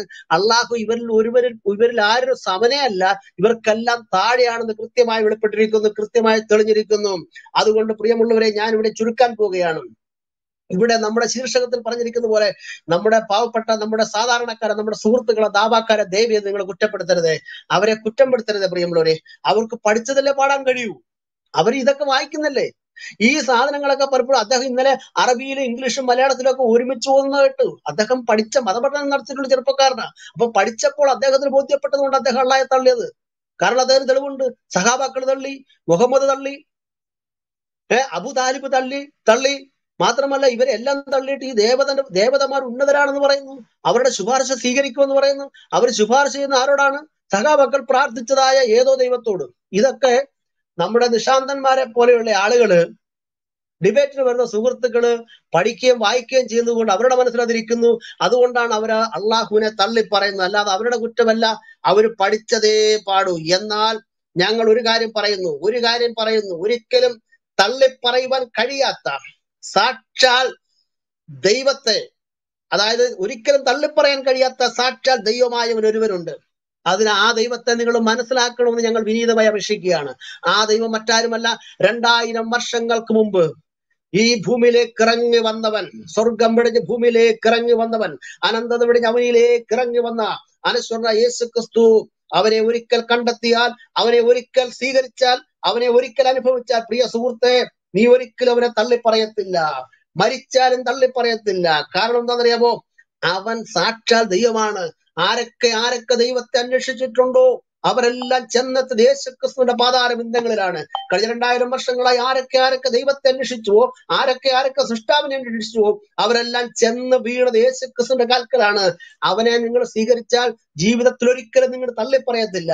ഇന്ന് അള്ളാഹുവിനെ തള്ളിപ്പറയുന്ന സുഹൃത്തുക്കളെ അതെ പ്രാചീന കാലം മുതൽ ദാവാക്കാരൻ ദാവാക്കാരുടെ പിതാക്കന്മാരായ ആളുകൾ തള്ളിപ്പറഞ്ഞതുപോലെ ഒരിക്കലും സത്യദൈവത്തെ തള്ളിപ്പറയാൻ കഴിയത്തില്ല. അദ്ദേഹത്തിന്റെ കർത്താവായ യേശു ക്രിസ്തുവിന്റെ ശിഷ്യന്മാരിൽ ഒരാളായ പത്രോ സാരായിരുന്നു കറുതീർന്ന് യഹൂദരായിരുന്നു. അദ്ദേഹം പറയുന്നത് കേൾക്കണോ? അദ്ദേഹം പറഞ്ഞ ഒരു പ്രഖ്യാപനമുണ്ട്. സിമൻ പത്രോസ് യേശുവിനോട് പറഞ്ഞു കർത്താവേ ഞങ്ങൾ ആരുടെ പക്കൽ പോകും? ഞങ്ങൾ ആരുടെ അടുക്കൽ പോകും? നിത്യജീവന്റെ വചനങ്ങൾ നിന്റെ പക്കലുണ്ട്. നീ ദൈവത്തിന്റെ പരിശുദ്ധനെന്ന് ഞങ്ങൾ അറിഞ്ഞു വിശ്വസിച്ചിരിക്കുന്നു ഇതാണ് ക്രിസ്തുവിനെ കണ്ടെത്തിയാൽ മരിച്ചാലും തള്ളിപ്പറയത്തില്ല. അതുകൊണ്ട് ഈ റൂമിൽ ഞങ്ങളെ ശ്രദ്ധിക്കുന്ന പ്രിയ ഇസ്ലാമത സുഹൃത്തുക്കളെ ഞങ്ങൾ ക്ഷണിക്കുകയാണ്. നിങ്ങൾക്കൊരിക്കലും ക്രിസ്തുവിനെ തള്ളി പറയാൻ കഴിയത്തില്ല. അള്ളാഹുവിനെ തള്ളി പറയുന്നത് പോലെ ക്രിസ്തുവിനെ തള്ളി പറയാൻ കഴിയത്തില്ല. അതുകൊണ്ട് ഒന്നും കൂടെ പറഞ്ഞുകൂടി ഞാൻ നിർത്തുന്നു. നിങ്ങൾ തള്ളി പറയുക തള്ളൂ. ദൈവമല്ലാത്തതിനെ തള്ളിക്കളയൂ. എവിടുന്നോ കൊണ്ടുവന്ന ഈ വസ്തുവിനെ തള്ളിക്കളയൂ. തള്ളിക്കളഞ്ഞിട്ട് ക്രിസ്തുവിനെ സ്നേഹിക്കൂ. ക്രിസ്തുവിനെ ക്രിസ്തുവിനെ രക്ഷിതാവായി സ്വീകരിക്കൂ. ഞാൻ വാതുക്കൽ നിന്ന് മുട്ടുന്നു. ഏതെങ്കിലും ഒരുവൻ എന്റെ ശബ്ദം കേട്ട് വാതിൽ തുറന്നാൽ ഞാൻ അവനോടൊപ്പം കയറിയിരിക്കുന്നു പറഞ്ഞ.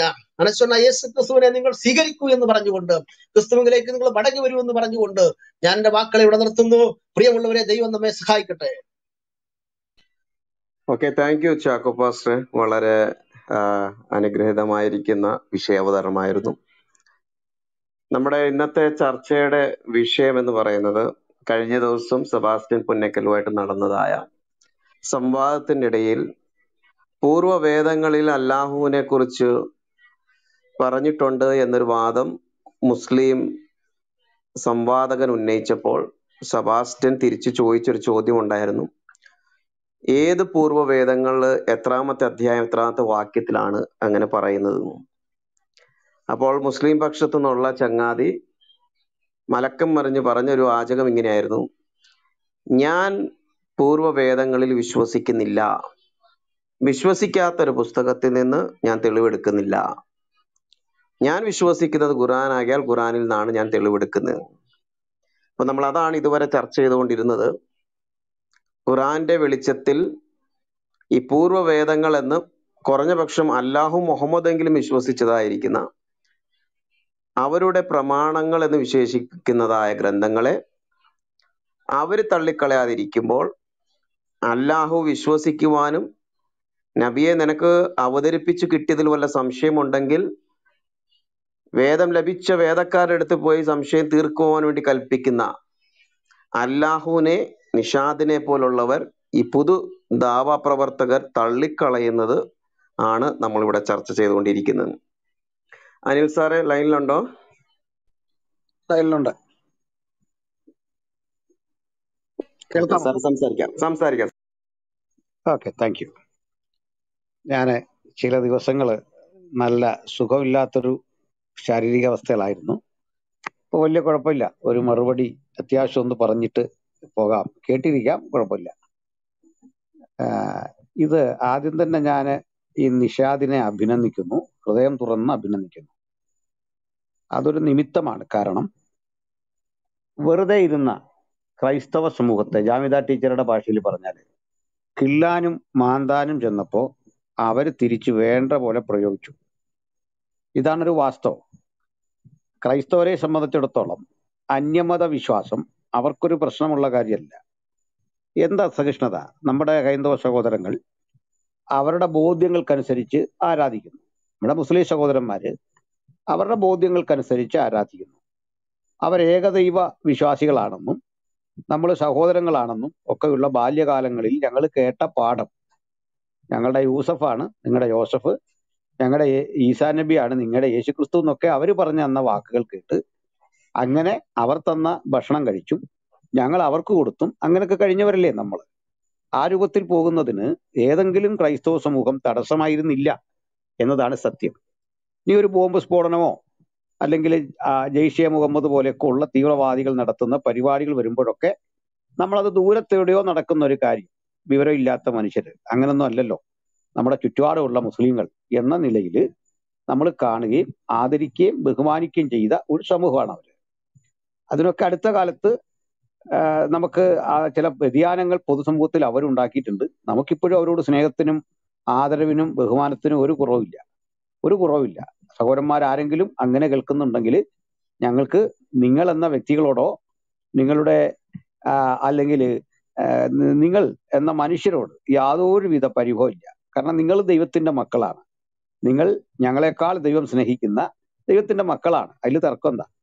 ഞങ്ങളെ ഒരുപക്ഷെ ദൈവത്തിന്റെ സന്നിധിയിൽ നിങ്ങളെ സ്നേഹിക്കത്ത ഒരു കുറ്റം ഞങ്ങളുടെ പക്കൽ ഉണ്ടെങ്കിൽ ആരുടെയെങ്കിലും എനിക്കങ്ങനെ ഇല്ല.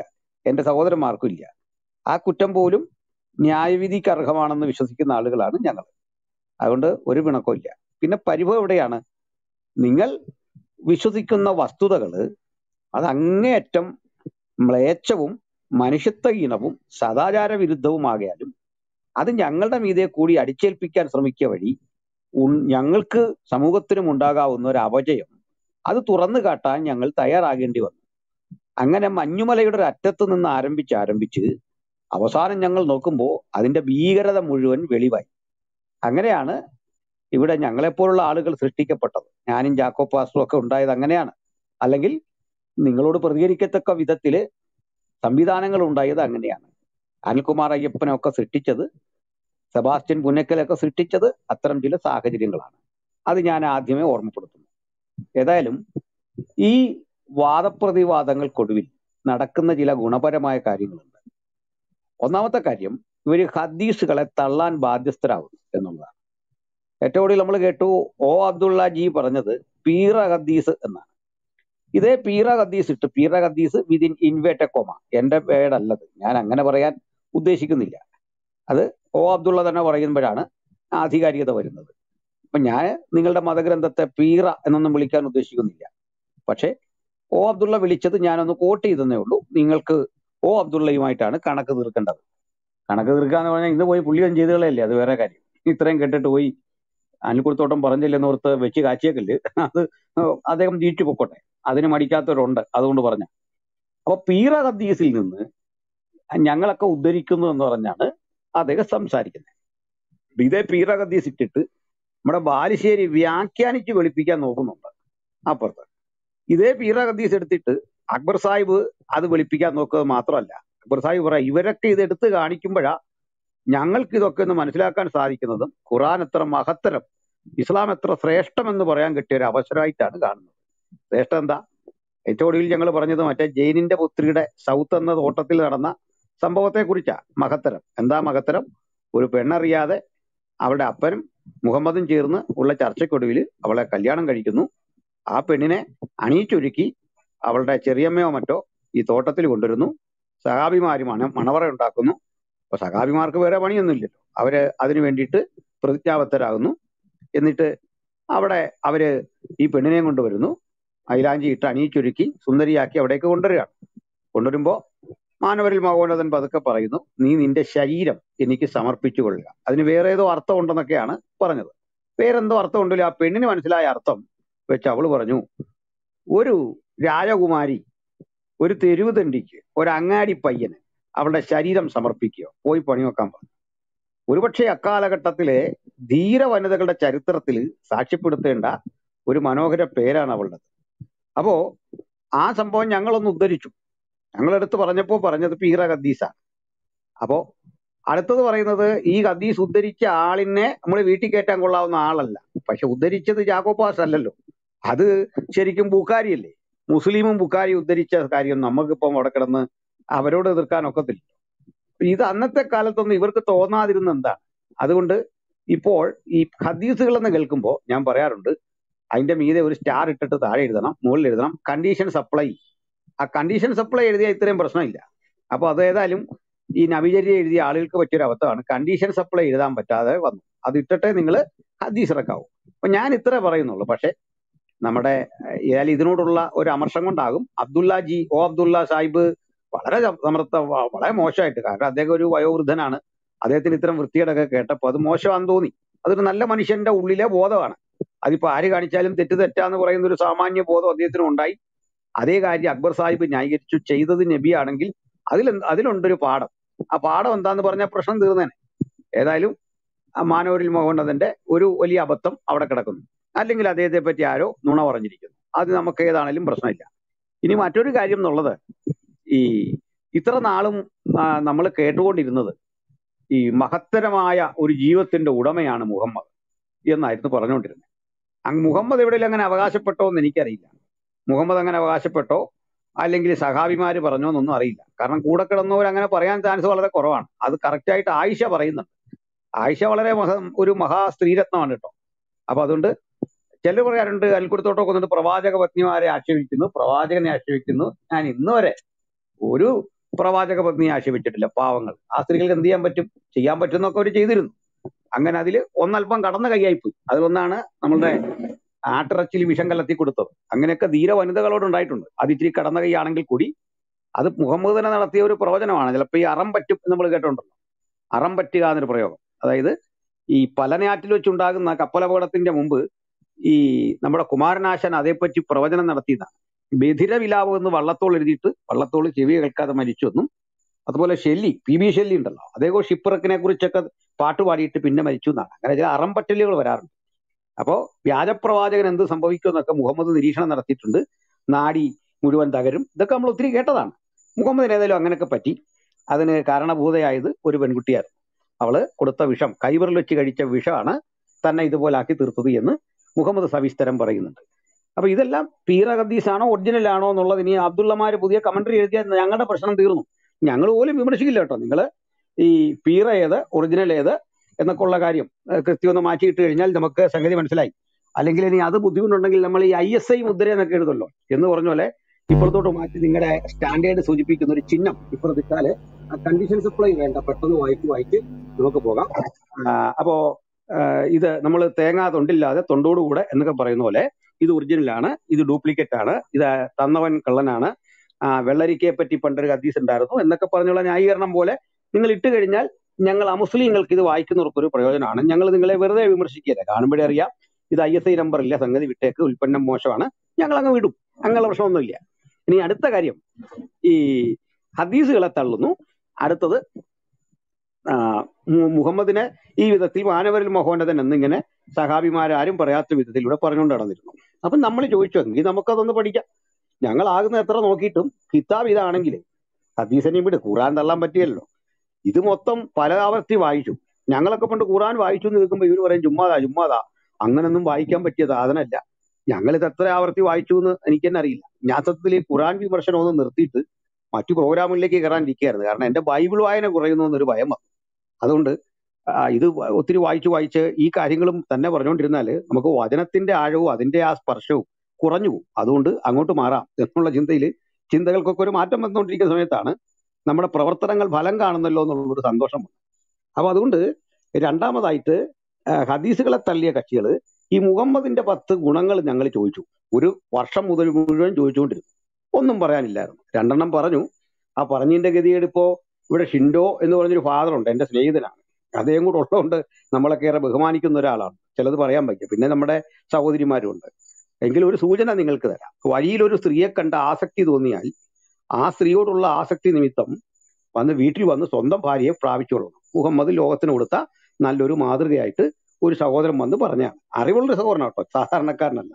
ആ പാവം ആകെ അരിച്ചു പെറുക്കിയിട്ട് മാസങ്ങളിലെ പഠനം കൊണ്ടാണ് ഇങ്ങനെ ഒരു കാര്യം കണ്ടുപിടിക്കുന്നു. എന്നിട്ട് അത് മുഹമ്മദ് ചെയ്തതും പറയുന്നുണ്ട്. സൈനവിന്റെ അരികിൽ വന്ന് തോൽപാത്രം കഴുകുന്ന സൈനവിനെ കൊണ്ടുവന്ന് അത് ബാക്കി വർഗീസം സാമൂൽ പറയുന്ന ആകും ഈ ഉചിതം എനിക്കത് അത്ര പറയാനുള്ള ഒരു ഭാഷ പോരാ. പോട്ടെ.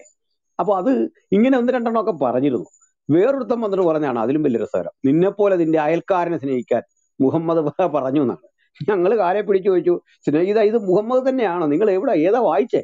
അല്ല അങ്ങനെ പറഞ്ഞിട്ടുണ്ടെന്ന് പറഞ്ഞു. ഞങ്ങൾ ആകുന്ന കാൽ പിടിച്ചു ചോദിച്ചു ഇപ്പൊ തരാമെന്ന് പറഞ്ഞ് ഒരു പോക്ക് പോയതാണ്. ഇതുവരെ ആ വേദവാക്യത്തിന്റെ തെളിവ് ഖുറാനിൽ അത് എവിടെയാ ഹദീസിൽ എവിടെയാ അതും തിരക്കി പോവാ ഇതുവരെ വന്നിട്ടില്ല. അപ്പൊ അങ്ങനെ രണ്ട് കാര്യങ്ങൾ അവിടെ നിൽക്കുന്നു.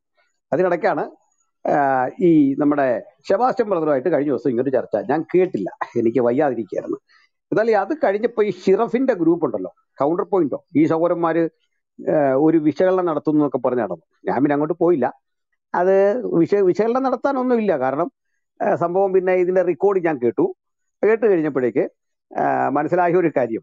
അള്ളാഹുവിനെ തള്ളി പറയുക എന്നുള്ളത് ഒരു അനിവാര്യമായ ഒരു ഒരിതാണ് അല്ല പറ്റിയല്ല. നമ്മളെ ചില വിദ്വാന്മാർ കണ്ടില്ലേ? അവർ പോയിട്ട് ബൈബിളിനൊക്കെ തള്ളി എന്ന് പറഞ്ഞ പോലെ ഒരു ഒരു സൂക്ഷ്മ ന്യൂനപക്ഷം ഈ വാദങ്ങളിൽ പങ്കെടുക്കാൻ വേണ്ടിയിട്ട് പ്രിപ്പറേഷൻ ഇല്ലാതെ വരും. പ്രിപ്പറേഷൻ ഇല്ല. എപ്പോഴും ഈ പ്രതിരോധം പ്രധാനപ്പെട്ട ഒരു കാര്യമാണ്. വാദത്തിൽ അറ്റാക്കിനേക്കാൾ വലുതാണ് പ്രതിരോധം. ഡിഫൻസ് പ്രധാനമാണ്. അപ്പോ ഡിഫൻസ് പ്രധാനമാണ് അതുകൊണ്ടാണ് ചിലർക്ക് പോയിട്ട് ചില കാര്യങ്ങൾ പറഞ്ഞുറപ്പിക്കാനും സ്ഥാപിക്കാനും പറ്റുന്നില്ല. അപ്പോ നമ്മളൊക്കെ വർഷം ഇത്രയായി. ഇതുവരെ എനിക്ക് യഹോവയെ തള്ളേണ്ടി വന്നില്ല. വിശുദ്ധ ലിഖിതങ്ങളെ തള്ളേണ്ടി വന്നില്ല. ക്രൈസ്തവ സഭയുടെ സൽ പാരമ്പര്യങ്ങളെ തള്ളേണ്ടി വന്നില്ല.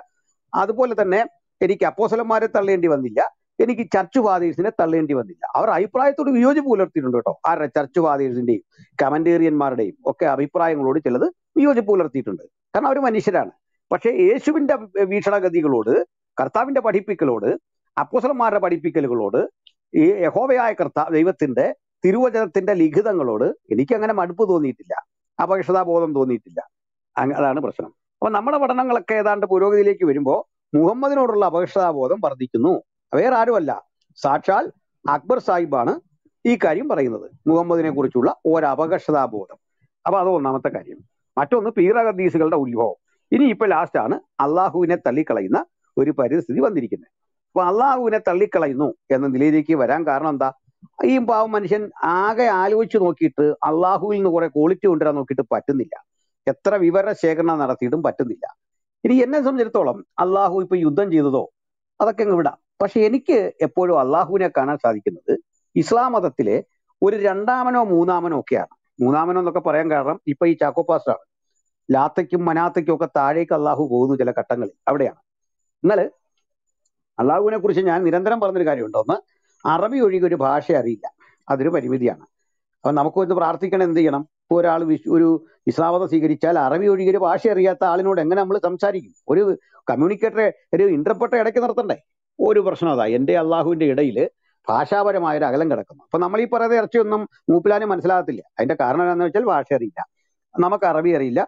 അദ്ദേഹത്തിന് മലയാളം അറബി ഒഴിച്ചൊന്നും അറിയത്തില്ല. അപ്പൊ എന്ത് ചെയ്യും? കോടാ- കോടിക്കണക്കിന് മനുഷ്യർ ഈ ഭൂമിയിൽ എന്ത് ചെയ്യും? അപ്പൊ രക്ഷയുടെ ആദ്യത്തെ വഴി അറബി പഠിക്കുക.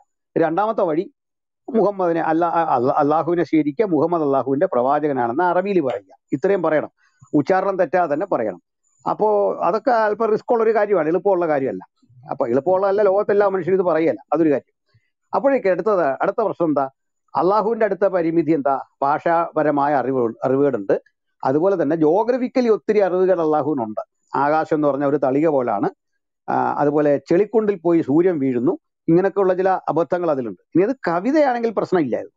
ഒരു കവിതയിൽ ചെളിക്കുണ്ടിൽ പോയി സൂര്യൻ പതിക്കുന്നു എന്ന് പറഞ്ഞാൽ ഞാൻ കൈയടിക്കുകയുള്ളൂ കാരണം കവിതയിൽ കവിക്ക് അതിനെല്ലാം ഉള്ള സ്വാതന്ത്ര്യമുണ്ട്. ഖുറാൻ കവിതയല്ലെന്നാണ് ഇവർ പറയുന്നത്.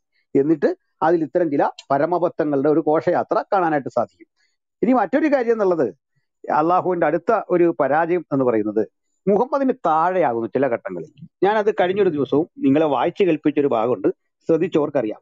അത് നമുക്ക് അൽ സാബിലേക്ക് വരാം. അൽ അഹസാബ് എന്ന് പറയുന്ന കുപ്രസിദ്ധമായ അധ്യായം തേർട്ടി ത്രീ ആണ്. ആ തേർട്ടി ത്രീയിൽ അള്ളാഹു മറ്റൊരു വലിയ വിഷയത്തിൽ ചെന്ന് പെടുന്നുണ്ട്. ആ മുഹമ്മദ് എന്താ ചെയ്യുന്നതെന്ന് ചോദിച്ചാൽ അള്ളാഹു മനസ്സിൽ വെച്ചൊരു കാര്യം മുഹമ്മദ് മുൻകൂട്ടി മനസ്സിലാക്കും ഒന്ന് ആലോചിച്ച് നോക്കി അള്ളാഹുവിനേക്കാൾ കേമൻ ആയിട്ട് ആരായി ആര് മാറുന്നു? മുഹമ്മദ് മാറുന്നു. നിങ്ങൾക്കത് ചിന്തിക്കാൻ പറ്റുമോ? അള്ളാഹുവിനേക്കാൾ ഒരു പ്രപഞ്ചനാഥൻ മനസ്സിൽ നിശ്ചയിച്ച കാര്യം. നമ്മൾ പറയല്ലേ നീ മനസ്സിൽ ചിന്തി നീ മനസ്സിൽ ചിന്തി ഞാൻ മരത്തെ കാണുന്നു. അങ്ങനെയൊക്കെ ചെറിയ പിള്ളേര് പറയുന്ന പോലെ നിങ്ങൾ കേട്ടാട്ടെ മുപ്പത്തിയേഴ്. നീ നിന്റെ ഭാര്യയെ നിന്റെ അടുത്ത് തന്നെ നിർത്തുകയും അള്ളാഹുവെ നീ സൂക്ഷിക്കുകയും ചെയ്യുക എന്ന് അള്ളാഹു അനുഗ്രഹം ചെയ്തു കൊടുത്തിട്ടുള്ളവനും നീ അനുഗ്രഹം ചെയ്തു കൊടുത്തിട്ടുള്ളവനുമായ ഒരാളോട് പറഞ്ഞിരുന്ന സന്ദർഭം ഓർക്കുക.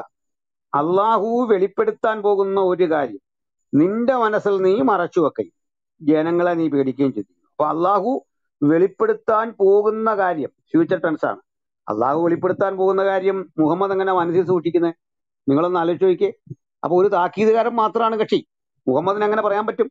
അപ്പോ അടുത്തൊരു കാര്യമുണ്ട്. അള്ളാഹുവിന് പങ്കുകാരില്ലെന്നാ പറയും പങ്കുകാരില്ല പക്ഷേ അള്ളാഹു റസൂലിനോട് കൂടിയ ഒരു പോളിറ്റി ബ്യൂറോയാണ് തീരുമാനമെടുക്കുന്നത്. മുപ്പത്തി ആറാമത്തെ വചനം എന്താ?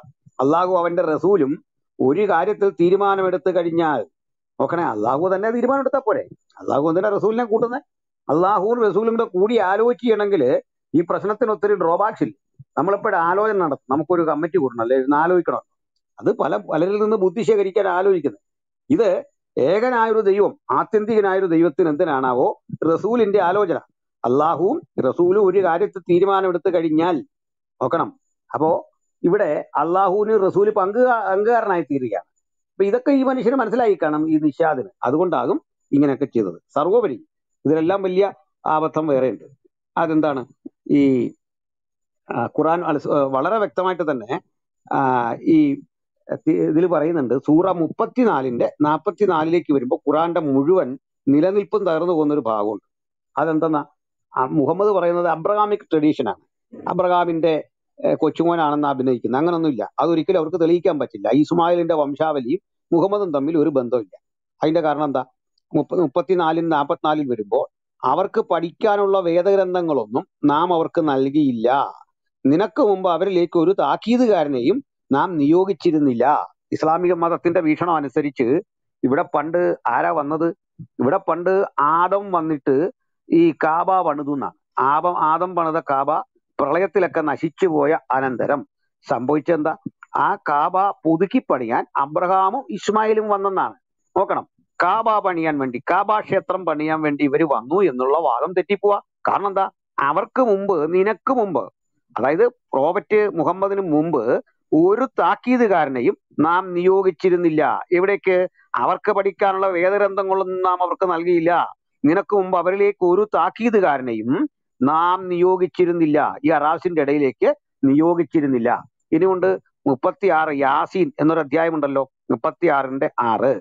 അവിടെ കേൾക്കുക ഒരു ജനതയ്ക്ക് നീ താക്കീത് നൽകാൻ വേണ്ടി അവരുടെ പിതാക്കന്മാർക്ക് താക്കീത് നൽകപ്പെട്ടിട്ടില്ല. അതിനാൽ അവർ അശ്രദ്ധയിൽ കഴിയുന്നവരാകുന്നു. ആരെപ്പറ്റിയാണ്?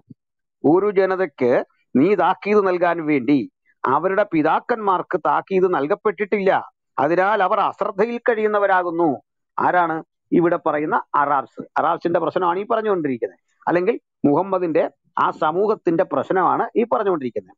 ഇനിയുണ്ട് നിങ്ങൾ അൽ അൽക്കസസ് എന്നറിയപ്പെടുന്ന ചാപ്റ്റർ ട്വന്റി എയ്റ്റ് സൂറ ട്വന്റി എയ്റ്റ്. ആ സൂറ ട്വന്റി എയ്റ്റിന്റെ ഫോർട്ടി സിക്സ് വായിക്കുക. ട്വന്റി എയ്റ്റ് ഫോർട്ടി സിക്സ് ഞാൻ വായിച്ചു കേൾപ്പിക്കാം. അവിടെ പറയുന്നത്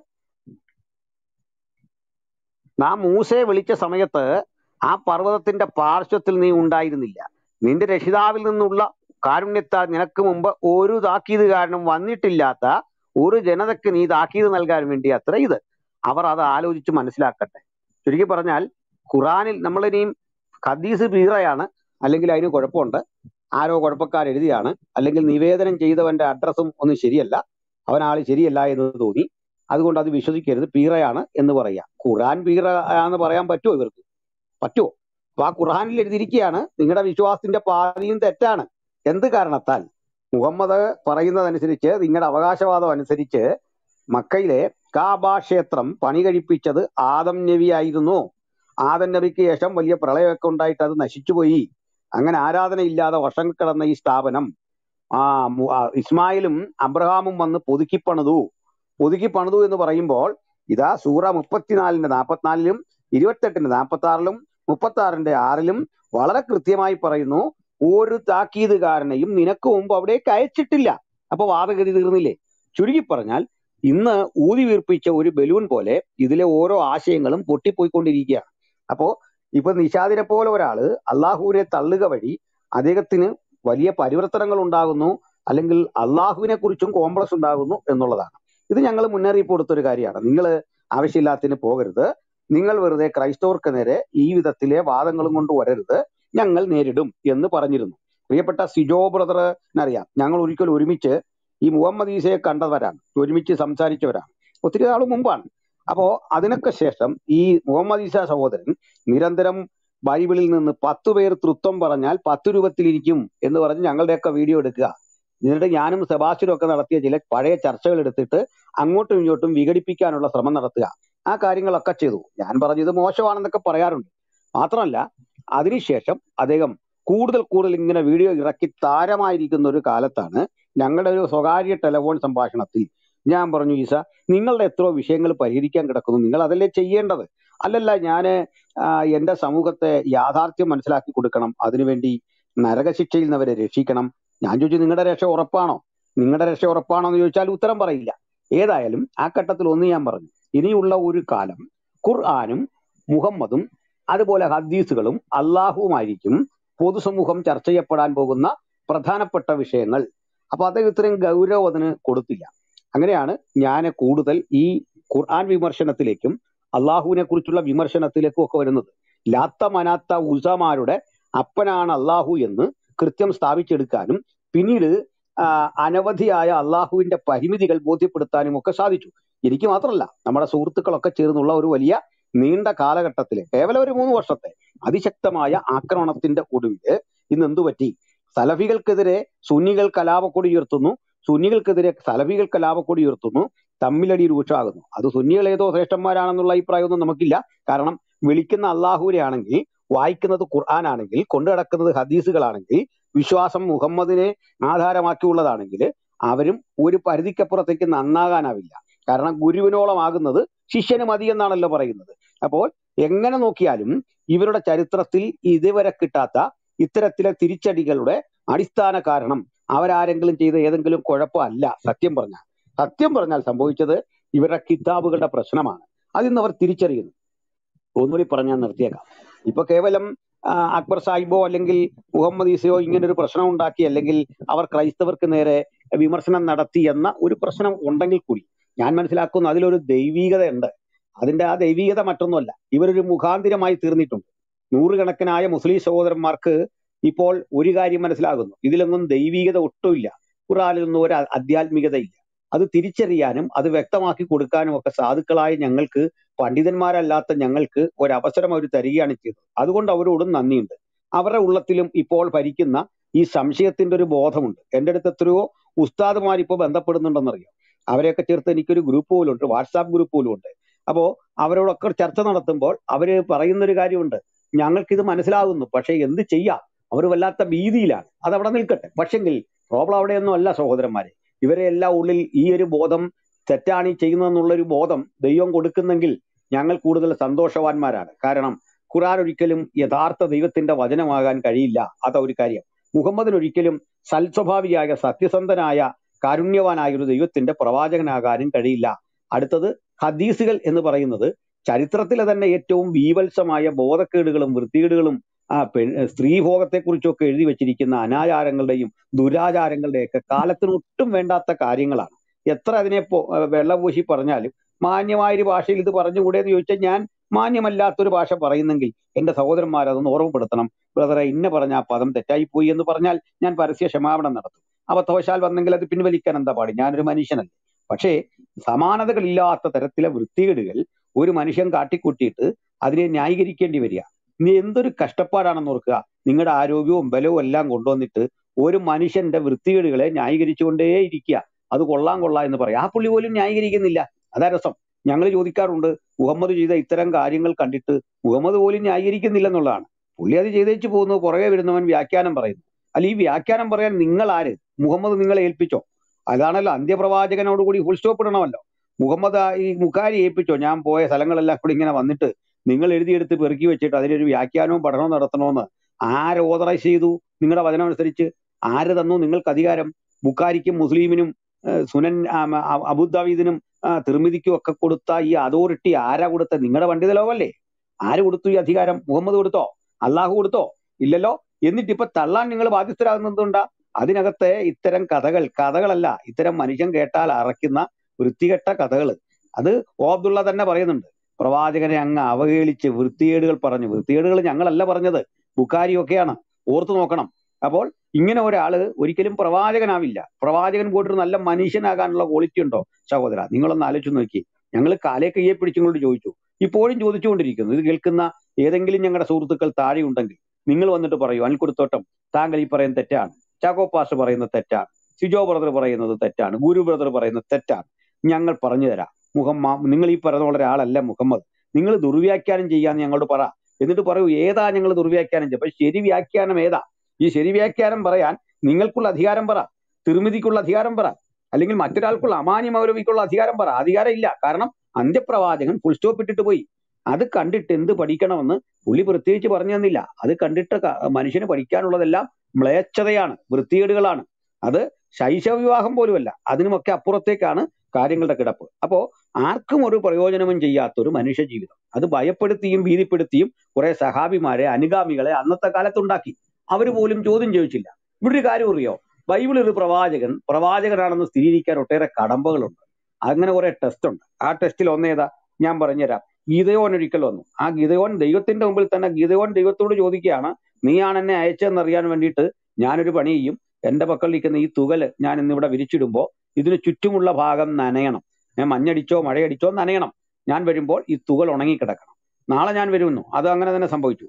നാളെ ഞാൻ വരുമ്പോൾ ഈ തോൽ മാത്രം നനഞ്ഞിരിക്കണം. ചുറ്റുമുള്ള ഭാഗം ഉണങ്ങിയിരിക്കണം. അത് പിഴിഞ്ഞ് അദ്ദേഹം അതിൽ വെള്ളം കണ്ടു എന്നാണ്. ഇങ്ങനെ ഒത്തിരി ടെസ്റ്റുകൾ നടത്തിയാണ് ഈ ദൈവശബ്ദത്തെ പോലും അവർ വിശ്വസിക്കാനിടയായത്. മോശ ദൈവശബ്ദം കേട്ടപ്പോൾ അദ്ദേഹം ദൈവത്തിങ്കൽ നിന്നായി ശബ്ദം കേൾക്കുന്നതെന്ന് ഉറപ്പിക്കാൻ വേണ്ടി അങ്ങോട്ട് ചോദിച്ചു. നീ ദൈവമാണ്. ആരാണ് എന്നോട് സംസാരിക്കുന്നത്? പറഞ്ഞു തരൂ. അപ്പോഴാണ് ഒരു അടയാളം മോശയ്ക്ക് ലഭിക്കുന്നത്. അത്ഭുതങ്ങളും അടയാളങ്ങളും സംഭവിക്കുന്ന അങ്ങനെയാണ്. മറിയുടെ അരികിൽ ദൂതൻ വന്നു. ദൂതൻ വരുമ്പോ ഞാൻ പുരുഷനെ അറിഞ്ഞിട്ടില്ല ഇയാൾ ഇതെങ്ങനെ സംഭവിക്കും? പറയൂ. ഈ ചോദ്യം അവൾ ചോദിക്കുകയാണ്. അപ്പോൾ ഏറ്റവും തിറവുള്ള ഒരു സ്ത്രീയുടെ ബോധ്യമുള്ള ഒരു പെൺകുട്ടിയുടെ നിലവാരത്തിൽ നിന്നുകൊണ്ട് ക്വസ്റ്റ്യൻ ചെയ്യുകയാണ്. വളരെ ലോജിക്കൽ സമീപനമാണ് ഇവർ നടത്തുന്നത്. ഇന്നും ക്രൈസ്തവൻ ആ ലോജിക്ക് തന്നെ ഉപയോഗിച്ചാണ് കാര്യങ്ങൾ പഠിക്കുന്നത്. ആ ലോജിക്കിന് പ്രസക്തി ഉണ്ട് ഇന്നും ക്രൈസ്തവന്റെ ജീവിതത്തിൽ. അവൻ ചോദ്യം ചെയ്തിരിക്കും. ഇന്ന് കേൾക്കുന്ന ഒരു ശബ്ദം കേട്ടാലുടൻ അത് വെട്ടി വിഴുങ്ങണം എന്ന യാതൊരു ബാധ്യതയും ക്രൈസ്തവനില്ല. അത് തന്നെ ബൈബിൾ പറയുകയാണ് സകലവും ശോധന ചെയ്ത് നല്ലത് മുറുകെ പിടിക്കാൻ വേണ്ടി പറഞ്ഞു തന്ന ഗുരുശിഷ്യന്മാരാണ് ഞങ്ങൾക്കുള്ളത്. നോക്കണം സകലവും ശോധന ചെയ്യണം നല്ലത് മുറുകെ പിടിക്കണം. അല്ലാതെ ഒരുത്തൻ പറയുന്നത് കേട്ട് അപ്പാടെ വെട്ടി വിഴുങ്ങിയാൽ എങ്ങനെ വരുമെന്നുള്ള തെളിവാണ് ഇന്നത്തെ ഇസ്ലാം മതത്തിന്റെ പഠിപ്പിക്കൽ. മുഹമ്മദ് കണ്ടതും അറിഞ്ഞതും പറഞ്ഞതും കേട്ടതിനൊക്കെ എന്ത് തെളിവ്? വല്ല അധികാരവും നിങ്ങൾക്കുണ്ടോ? വല്ല അതോറിറ്റി നിങ്ങൾക്കുണ്ടോ? തെരുവിലിട്ട് നിങ്ങളെ ഇങ്ങനെ ചോദ്യം ചെയ്ത് വിശകലനം ചെയ്യുവാൻ കാരണമായിട്ടൊരു സമൂഹം ഉയരുമെന്നുള്ളത് പോലും മുൻകൂട്ടി കാണാനുള്ള ബോധമുണ്ടായില്ലേ മുഹമ്മദിന്? ഞങ്ങളെപ്പോലുള്ള ആളുകൾ ഇങ്ങനെ വന്ന് ചോദിക്കുമ്പോൾ അസ്ത്രപ്രജ്ഞരായി ആശയം കയ്യിലില്ലാത്തവരായി നിങ്ങൾ ഒറ്റപ്പെട്ടു പോകുന്ന പരിസ്ഥിതി എങ്ങനെ സംജാതമായി? നേരെ മറിച്ച് നിങ്ങൾ ക്രൈസ്തവർക്ക് നേരെ ചോദിക്ക് ചോദ്യങ്ങൾ ചോദിക്ക് ഞങ്ങൾ ഉത്തരം പറഞ്ഞിരിക്കും. എന്നാൽ ഞങ്ങൾ ഉത്തരം പറയുന്ന വേളയിൽ നിങ്ങൾ വ്യാഖ്യാനം കൊണ്ടുവരിക. ഞങ്ങൾക്ക് വ്യാഖ്യാനിക്കേണ്ട കാര്യമില്ല. ഞങ്ങളുടെ പുസ്തകം ക്രിസ്റ്റൽ ക്ലിയർ ആയിട്ട് കാര്യങ്ങൾ എഴുതി വെച്ചിട്ടുണ്ട്. റഫറൻസ് വായിച്ച് കേൾപ്പിച്ചാൽ മാത്രം മതി. അതുകൊണ്ട് ഏതൊരു കൊച്ചുകുട്ടിക്കും നിങ്ങൾക്ക് ഉത്തരം തരാൻ വേണ്ട പ്രാപ്തി ഞങ്ങളുടെ കൂടെ ഉണ്ട് അതിനപ്പുറത്ത് ഞങ്ങൾ അമാനി മൗലവിയെ തിരക്കണോ? ഞങ്ങൾ പന്താവൂരിന്റെ വാക്കുകൾ എടുക്കണമോ? ഞങ്ങൾ പോയിട്ട് ഇംഗ്ലീഷ് പണ്ഡിതന്മാരെ പഠിക്കണമോ? നിങ്ങൾ പറയൂ ഒന്നുകൂടെ പറയണം. ഇവരുടെ അതോറിറ്റി എന്ത്? എന്ത് അധികാരം ഇവർക്ക്? അധികാരമില്ല. ചുരുക്കത്തിൽ കാലക്രമേണ നിങ്ങൾ ഇതിൽ ഓരോന്നിനെയും തള്ളിക്കളയാൻ ബാധ്യസ്ഥരായിത്തീരും. നിങ്ങളുടെ ഉള്ളിൽ യുക്തിബോധത്തിന്റെ നേരിയ ഒരു ചിന്ത കിടപ്പുണ്ടെങ്കിൽ മനുഷ്യത്വം കിടപ്പുണ്ടെങ്കിൽ അല്ലല്ലല്ല അതിനെ അതിജീവിക്കുന്ന ദൈവ അവബോധം കിടപ്പുണ്ടെങ്കിൽ ഒന്നുറപ്പിച്ചോളൂ. ഒരു ദൈവികതയും ഖുറാനിലില്ല സത്യദൈവത്തിന്റെ വചനമാകാൻ ഖുർആന് ഒരു യോഗ്യതയുമില്ല. ഭൂമിശാസ്ത്രപരമായ തെറ്റുകൾ മനുഷ്യത്വ രാഹിത്യം സ്ത്രീ വിരുദ്ധത സദാചാര വിരുദ്ധത ഇങ്ങനെയുള്ള തെറ്റുകളുടെ ഒരു കൂവാരമാണത് മാത്രമല്ല അന്യമത വിദ്വേഷം തൊട്ടടുത്ത ആളുകളെ വിദ്വേഷിക്കാനും ആയുധം കൊണ്ട് പയറ്റാനും ഉന്മൂലനം ചെയ്യാനുമുള്ള വാക്കുകളുടെ സമൃദ്ധിയാണ് അതിന്റെ മറ്റൊരു ക്രൂരത. ആ ക്രൂരതയിൽ നിന്ന് എത്രയോ ആളുകൾ ഇൻസ്പയർഡ് ആയിട്ടാണ് ജെയ്ഷെ മുഹമ്മദ് ഉണ്ടാക്കിയത് ജമാഅത്തെ ഇസ്ലാമി ഉണ്ടാക്കിയത് എസ് ഡി പി ഐ ഉണ്ടാക്കിയിട്ടുള്ളത്. അങ്ങനെ ലോകത്തിന്റെ എല്ലായിടങ്ങളിലും ഒരു പേരിലല്ലെങ്കിൽ മറ്റൊരു പേരിൽ താലിബാനിസം ശക്തിപ്പെട്ടുകൊണ്ടിരിക്കുകയാണ്. ഇതിന്റെ കാരണം എന്താ? ഈ ഒറ്റ കൃതിയാണ്. ഈ ഒറ്റ കൃതിയും ഈ ഒരു പ്രവാചകന നിമിത്തം ലോകത്തിൽ ലക്ഷക്കണക്കിന് ആളുകൾ നിരന്തരം മരിച്ചുകൊണ്ടിരിക്കുകയാണ്. പോരാടി മരിച്ചുകൊണ്ടിരിക്കുകയാണ്. എത്ര എത്ര കോടതി വ്യവഹാരങ്ങൾ നടക്കുകയാണ്. അങ്ങനെ സമൂഹത്തെ ഗ്രസിച്ചിരിക്കുന്ന ഈ തിന്മയ്ക്കെതിരെയുള്ള ആന്തോളനമാണ് ഞങ്ങൾ നിർവഹിച്ചുകൊണ്ടിരിക്കുന്നത്. അതുകൊണ്ട് അത്തരം യുദ്ധങ്ങൾ അല്ലെങ്കിൽ അത്തരം ആശയപരമായ ഏറ്റുമുട്ടലുകൾ ഫലം കാണുന്നു എന്നാണ് ഇതിൽ നിന്നൊക്കെ മനസ്സിലാക്കേണ്ടത്. ചുരുക്കത്തിൽ ചന്ദ്രക്കലയും കുരിശും തമ്മിലുള്ള ഈ മാറ്റുരക്കലിൽ ഒരിക്കലും കുരിശിനു മീതെ വിരിഞ്ഞു നിൽക്കാനുള്ള ത്രാണി ചന്ദ്രക്കലയ്ക്കില്ല. കാരണം ഹുബാൽ എന്ന ചന്ദ്രദേവനും അദ്ദേഹത്തിന്റെ വാദഗതികൾക്കും ഹുബാലിന്റെ മറ്റു പ്രാചീന പതിപ്പുകൾ വാദുദേവനുണ്ട് പലതരം ചന്ദ്രദേവന്മാരെയും സൂര്യദേവന്മാരെയും ബാലദേവന്മാരെയും ഒക്കെ കൈകാര്യം ചെയ്തിട്ട് അവരുടെ മീതെ ആധിപത്യം ഉറപ്പിച്ചിട്ട് എല്ലാത്തരം ഇത്തരം ഇരുട്ടിന്റെ കോട്ടകളെയും ഇടിച്ച് നിലംപരിശാക്കിക്കൊണ്ടാണ് യേശുക്രിസ്തുവിന്റെ സുവിശേഷം ചരിത്രത്തിൽ കത്തിജ്വലിച്ചു നിന്നത്. അതുകൊണ്ട് സുവിശേഷം മനുഷ്യ ജീവിതത്തിന്റെ നാനാവശങ്ങളിലേക്കും ഒരുപോലെ ഇറങ്ങിച്ചെന്നുകൊണ്ട് മനുഷ്യരെ സൽസ്വഭാവിയാക്കുവാൻ സദാചാര ബോധമുള്ളവരാക്കാൻ തീർക്കാൻ ലക്ഷ്യോന്മുഖതയുള്ളവനാക്കി തീർക്കാൻ നല്ല പിതാവാക്കി മനുഷ്യനെ വളർത്താൻ നല്ല മാതാവാക്കി നല്ല സഹോദരിയാക്കി നല്ല സഹോദരനാക്കി നല്ല പൗരനാക്കി നല്ല ഭരണാധികാരിയാക്കി മനുഷ്യനെ മോൾഡ് ചെയ്യുന്ന ആ വലിയ പ്രക്രിയ കൂടിയാണ് സുവിശേഷം. അതുകൊണ്ട് ഞങ്ങൾ ഈ സുവിശേഷം പ്രസംഗിക്കുന്നത് ബന്ധനമില്ലാത്ത ഈ സുവിശേഷം പ്രസംഗിക്കുന്നതിന് ഞങ്ങളെ പ്രാപ്തരാക്കുന്നത് അത്തരം ആത്മാർത്ഥതയാണ്. ഞങ്ങളും നിങ്ങളും തമ്മിൽ നേരിടുമ്പോൾ അതാ നിങ്ങൾക്ക് വാൾ വേണ്ടി വരുന്നത് നിങ്ങൾക്ക് പകയുടെയും കയ്പിന്റെയും ആയുധങ്ങൾ നിങ്ങളുടെ പക്കൽ ധരിക്കേണ്ടി വരുന്നത് ഉന്മൂലനം ചെയ്യേണ്ടി വരുന്നത് കൈവെട്ടേണ്ടി വരുന്നത് തലവെട്ടേണ്ടി വരുന്നത് കയ്യും തലയും വെട്ടാതെ ആരെയും ആക്രമിക്കാതെ ഒരു തുള്ളി ചോര ചിതറാതെ ഒരു മനുഷ്യനെയും ഈ വിധത്തിൽ വാളുകൊണ്ട് ആയുധം കൊണ്ടോ ആക്രമിക്കാതെ ഞങ്ങൾ ഉയർത്തിപ്പിടിക്കുന്ന സുവിശേഷത്തിന്റെ ദീപശിക അത് കൃത്യമായി ജ്വലിപ്പിക്കാനുള്ള ഞങ്ങളുടെ ഉള്ളിലെ പ്രേരണ ഒരിക്കൽ കൂടി ഉയർത്തിക്കാട്ടിക്കൊണ്ട് ഈ വചനം കേൾക്കുന്ന എല്ലാവരുടെയും മുമ്പാകെ ഞങ്ങളുടെ കർത്താവും രക്ഷിതാവുമായ യേശു ക്രിസ്തുവിനെ അഭിമാന പുരസരം ചൂണ്ടിക്കാട്ടിക്കൊണ്ട് പറയാം. ജീവിതത്തിന്റെ ഒരു ഘട്ടത്തിലും ഞങ്ങൾ യേശുവിനെ തള്ളിപ്പറയില്ല. ഇപ്പോൾ അള്ളാഹുവിനെ തള്ളിപ്പറഞ്ഞ നിഷാദിന്റെ മുമ്പിലും ഞങ്ങൾ യേശുവിനെ നിങ്ങളുടെ മുമ്പിൽ വരച്ചു കാട്ടുകയാണ്. ഞങ്ങൾക്ക് ഒരു ഘട്ടത്തിലും യേശുവിനെ തള്ളിപ്പറയേണ്ടി വരില്ല. ജയിലറയ്ക്ക് മുമ്പിൽ പീഡനത്തിന്റെ മുമ്പിൽ കരുത്തുറ്റ ആയുധങ്ങൾക്ക് മുമ്പിൽ ആക്രമണത്തിന്റെ മുമ്പിൽ സകലതും നശിക്കുമ്പോഴും അവസാന ശ്വാസത്തിലും ഞങ്ങൾക്ക് പറയാനുള്ളത് യേശുക്രിസ്തു ലോകത്തിന്റെ രക്ഷിതാവ്. യേശുക്രിസ്തു കൂടി മനുഷ്യരാശിയുടെ രക്ഷ. അത് പറയാൻ ഞങ്ങളെ പ്രാപ്തരാക്കുന്ന ഈ അനുഗ്രഹീത വചനത്തിന്റെ കാവൽ ഭടന്മാരായിരിക്കാൻ കഴിഞ്ഞതിൽ അധികമായ ചാരിതാർത്ഥ്യത്തോടെ ദൈവത്തെ സ്തുതിക്കുകയും മഹത്വപ്പെടുത്തുകയും ചെയ്യുന്നു. എനിക്ക് നല്ല ശ്വാസം മുട്ടലുള്ള ഒരു സമയമാണെങ്കിലും ഈ വചനം പറഞ്ഞപ്പോൾ ഇത്രയും ഒരു ആവേശം കർത്താവ് പകർന്നു കേട്ട നിങ്ങൾക്ക് എല്ലാവർക്കും നന്ദി. എനിക്ക് സമയോചിതമായി ഇനിയും ആവശ്യമെങ്കിൽ ഇടപെടാം. കർത്താവ് നമ്മളെ സഹായിക്കട്ടെ. താങ്ക്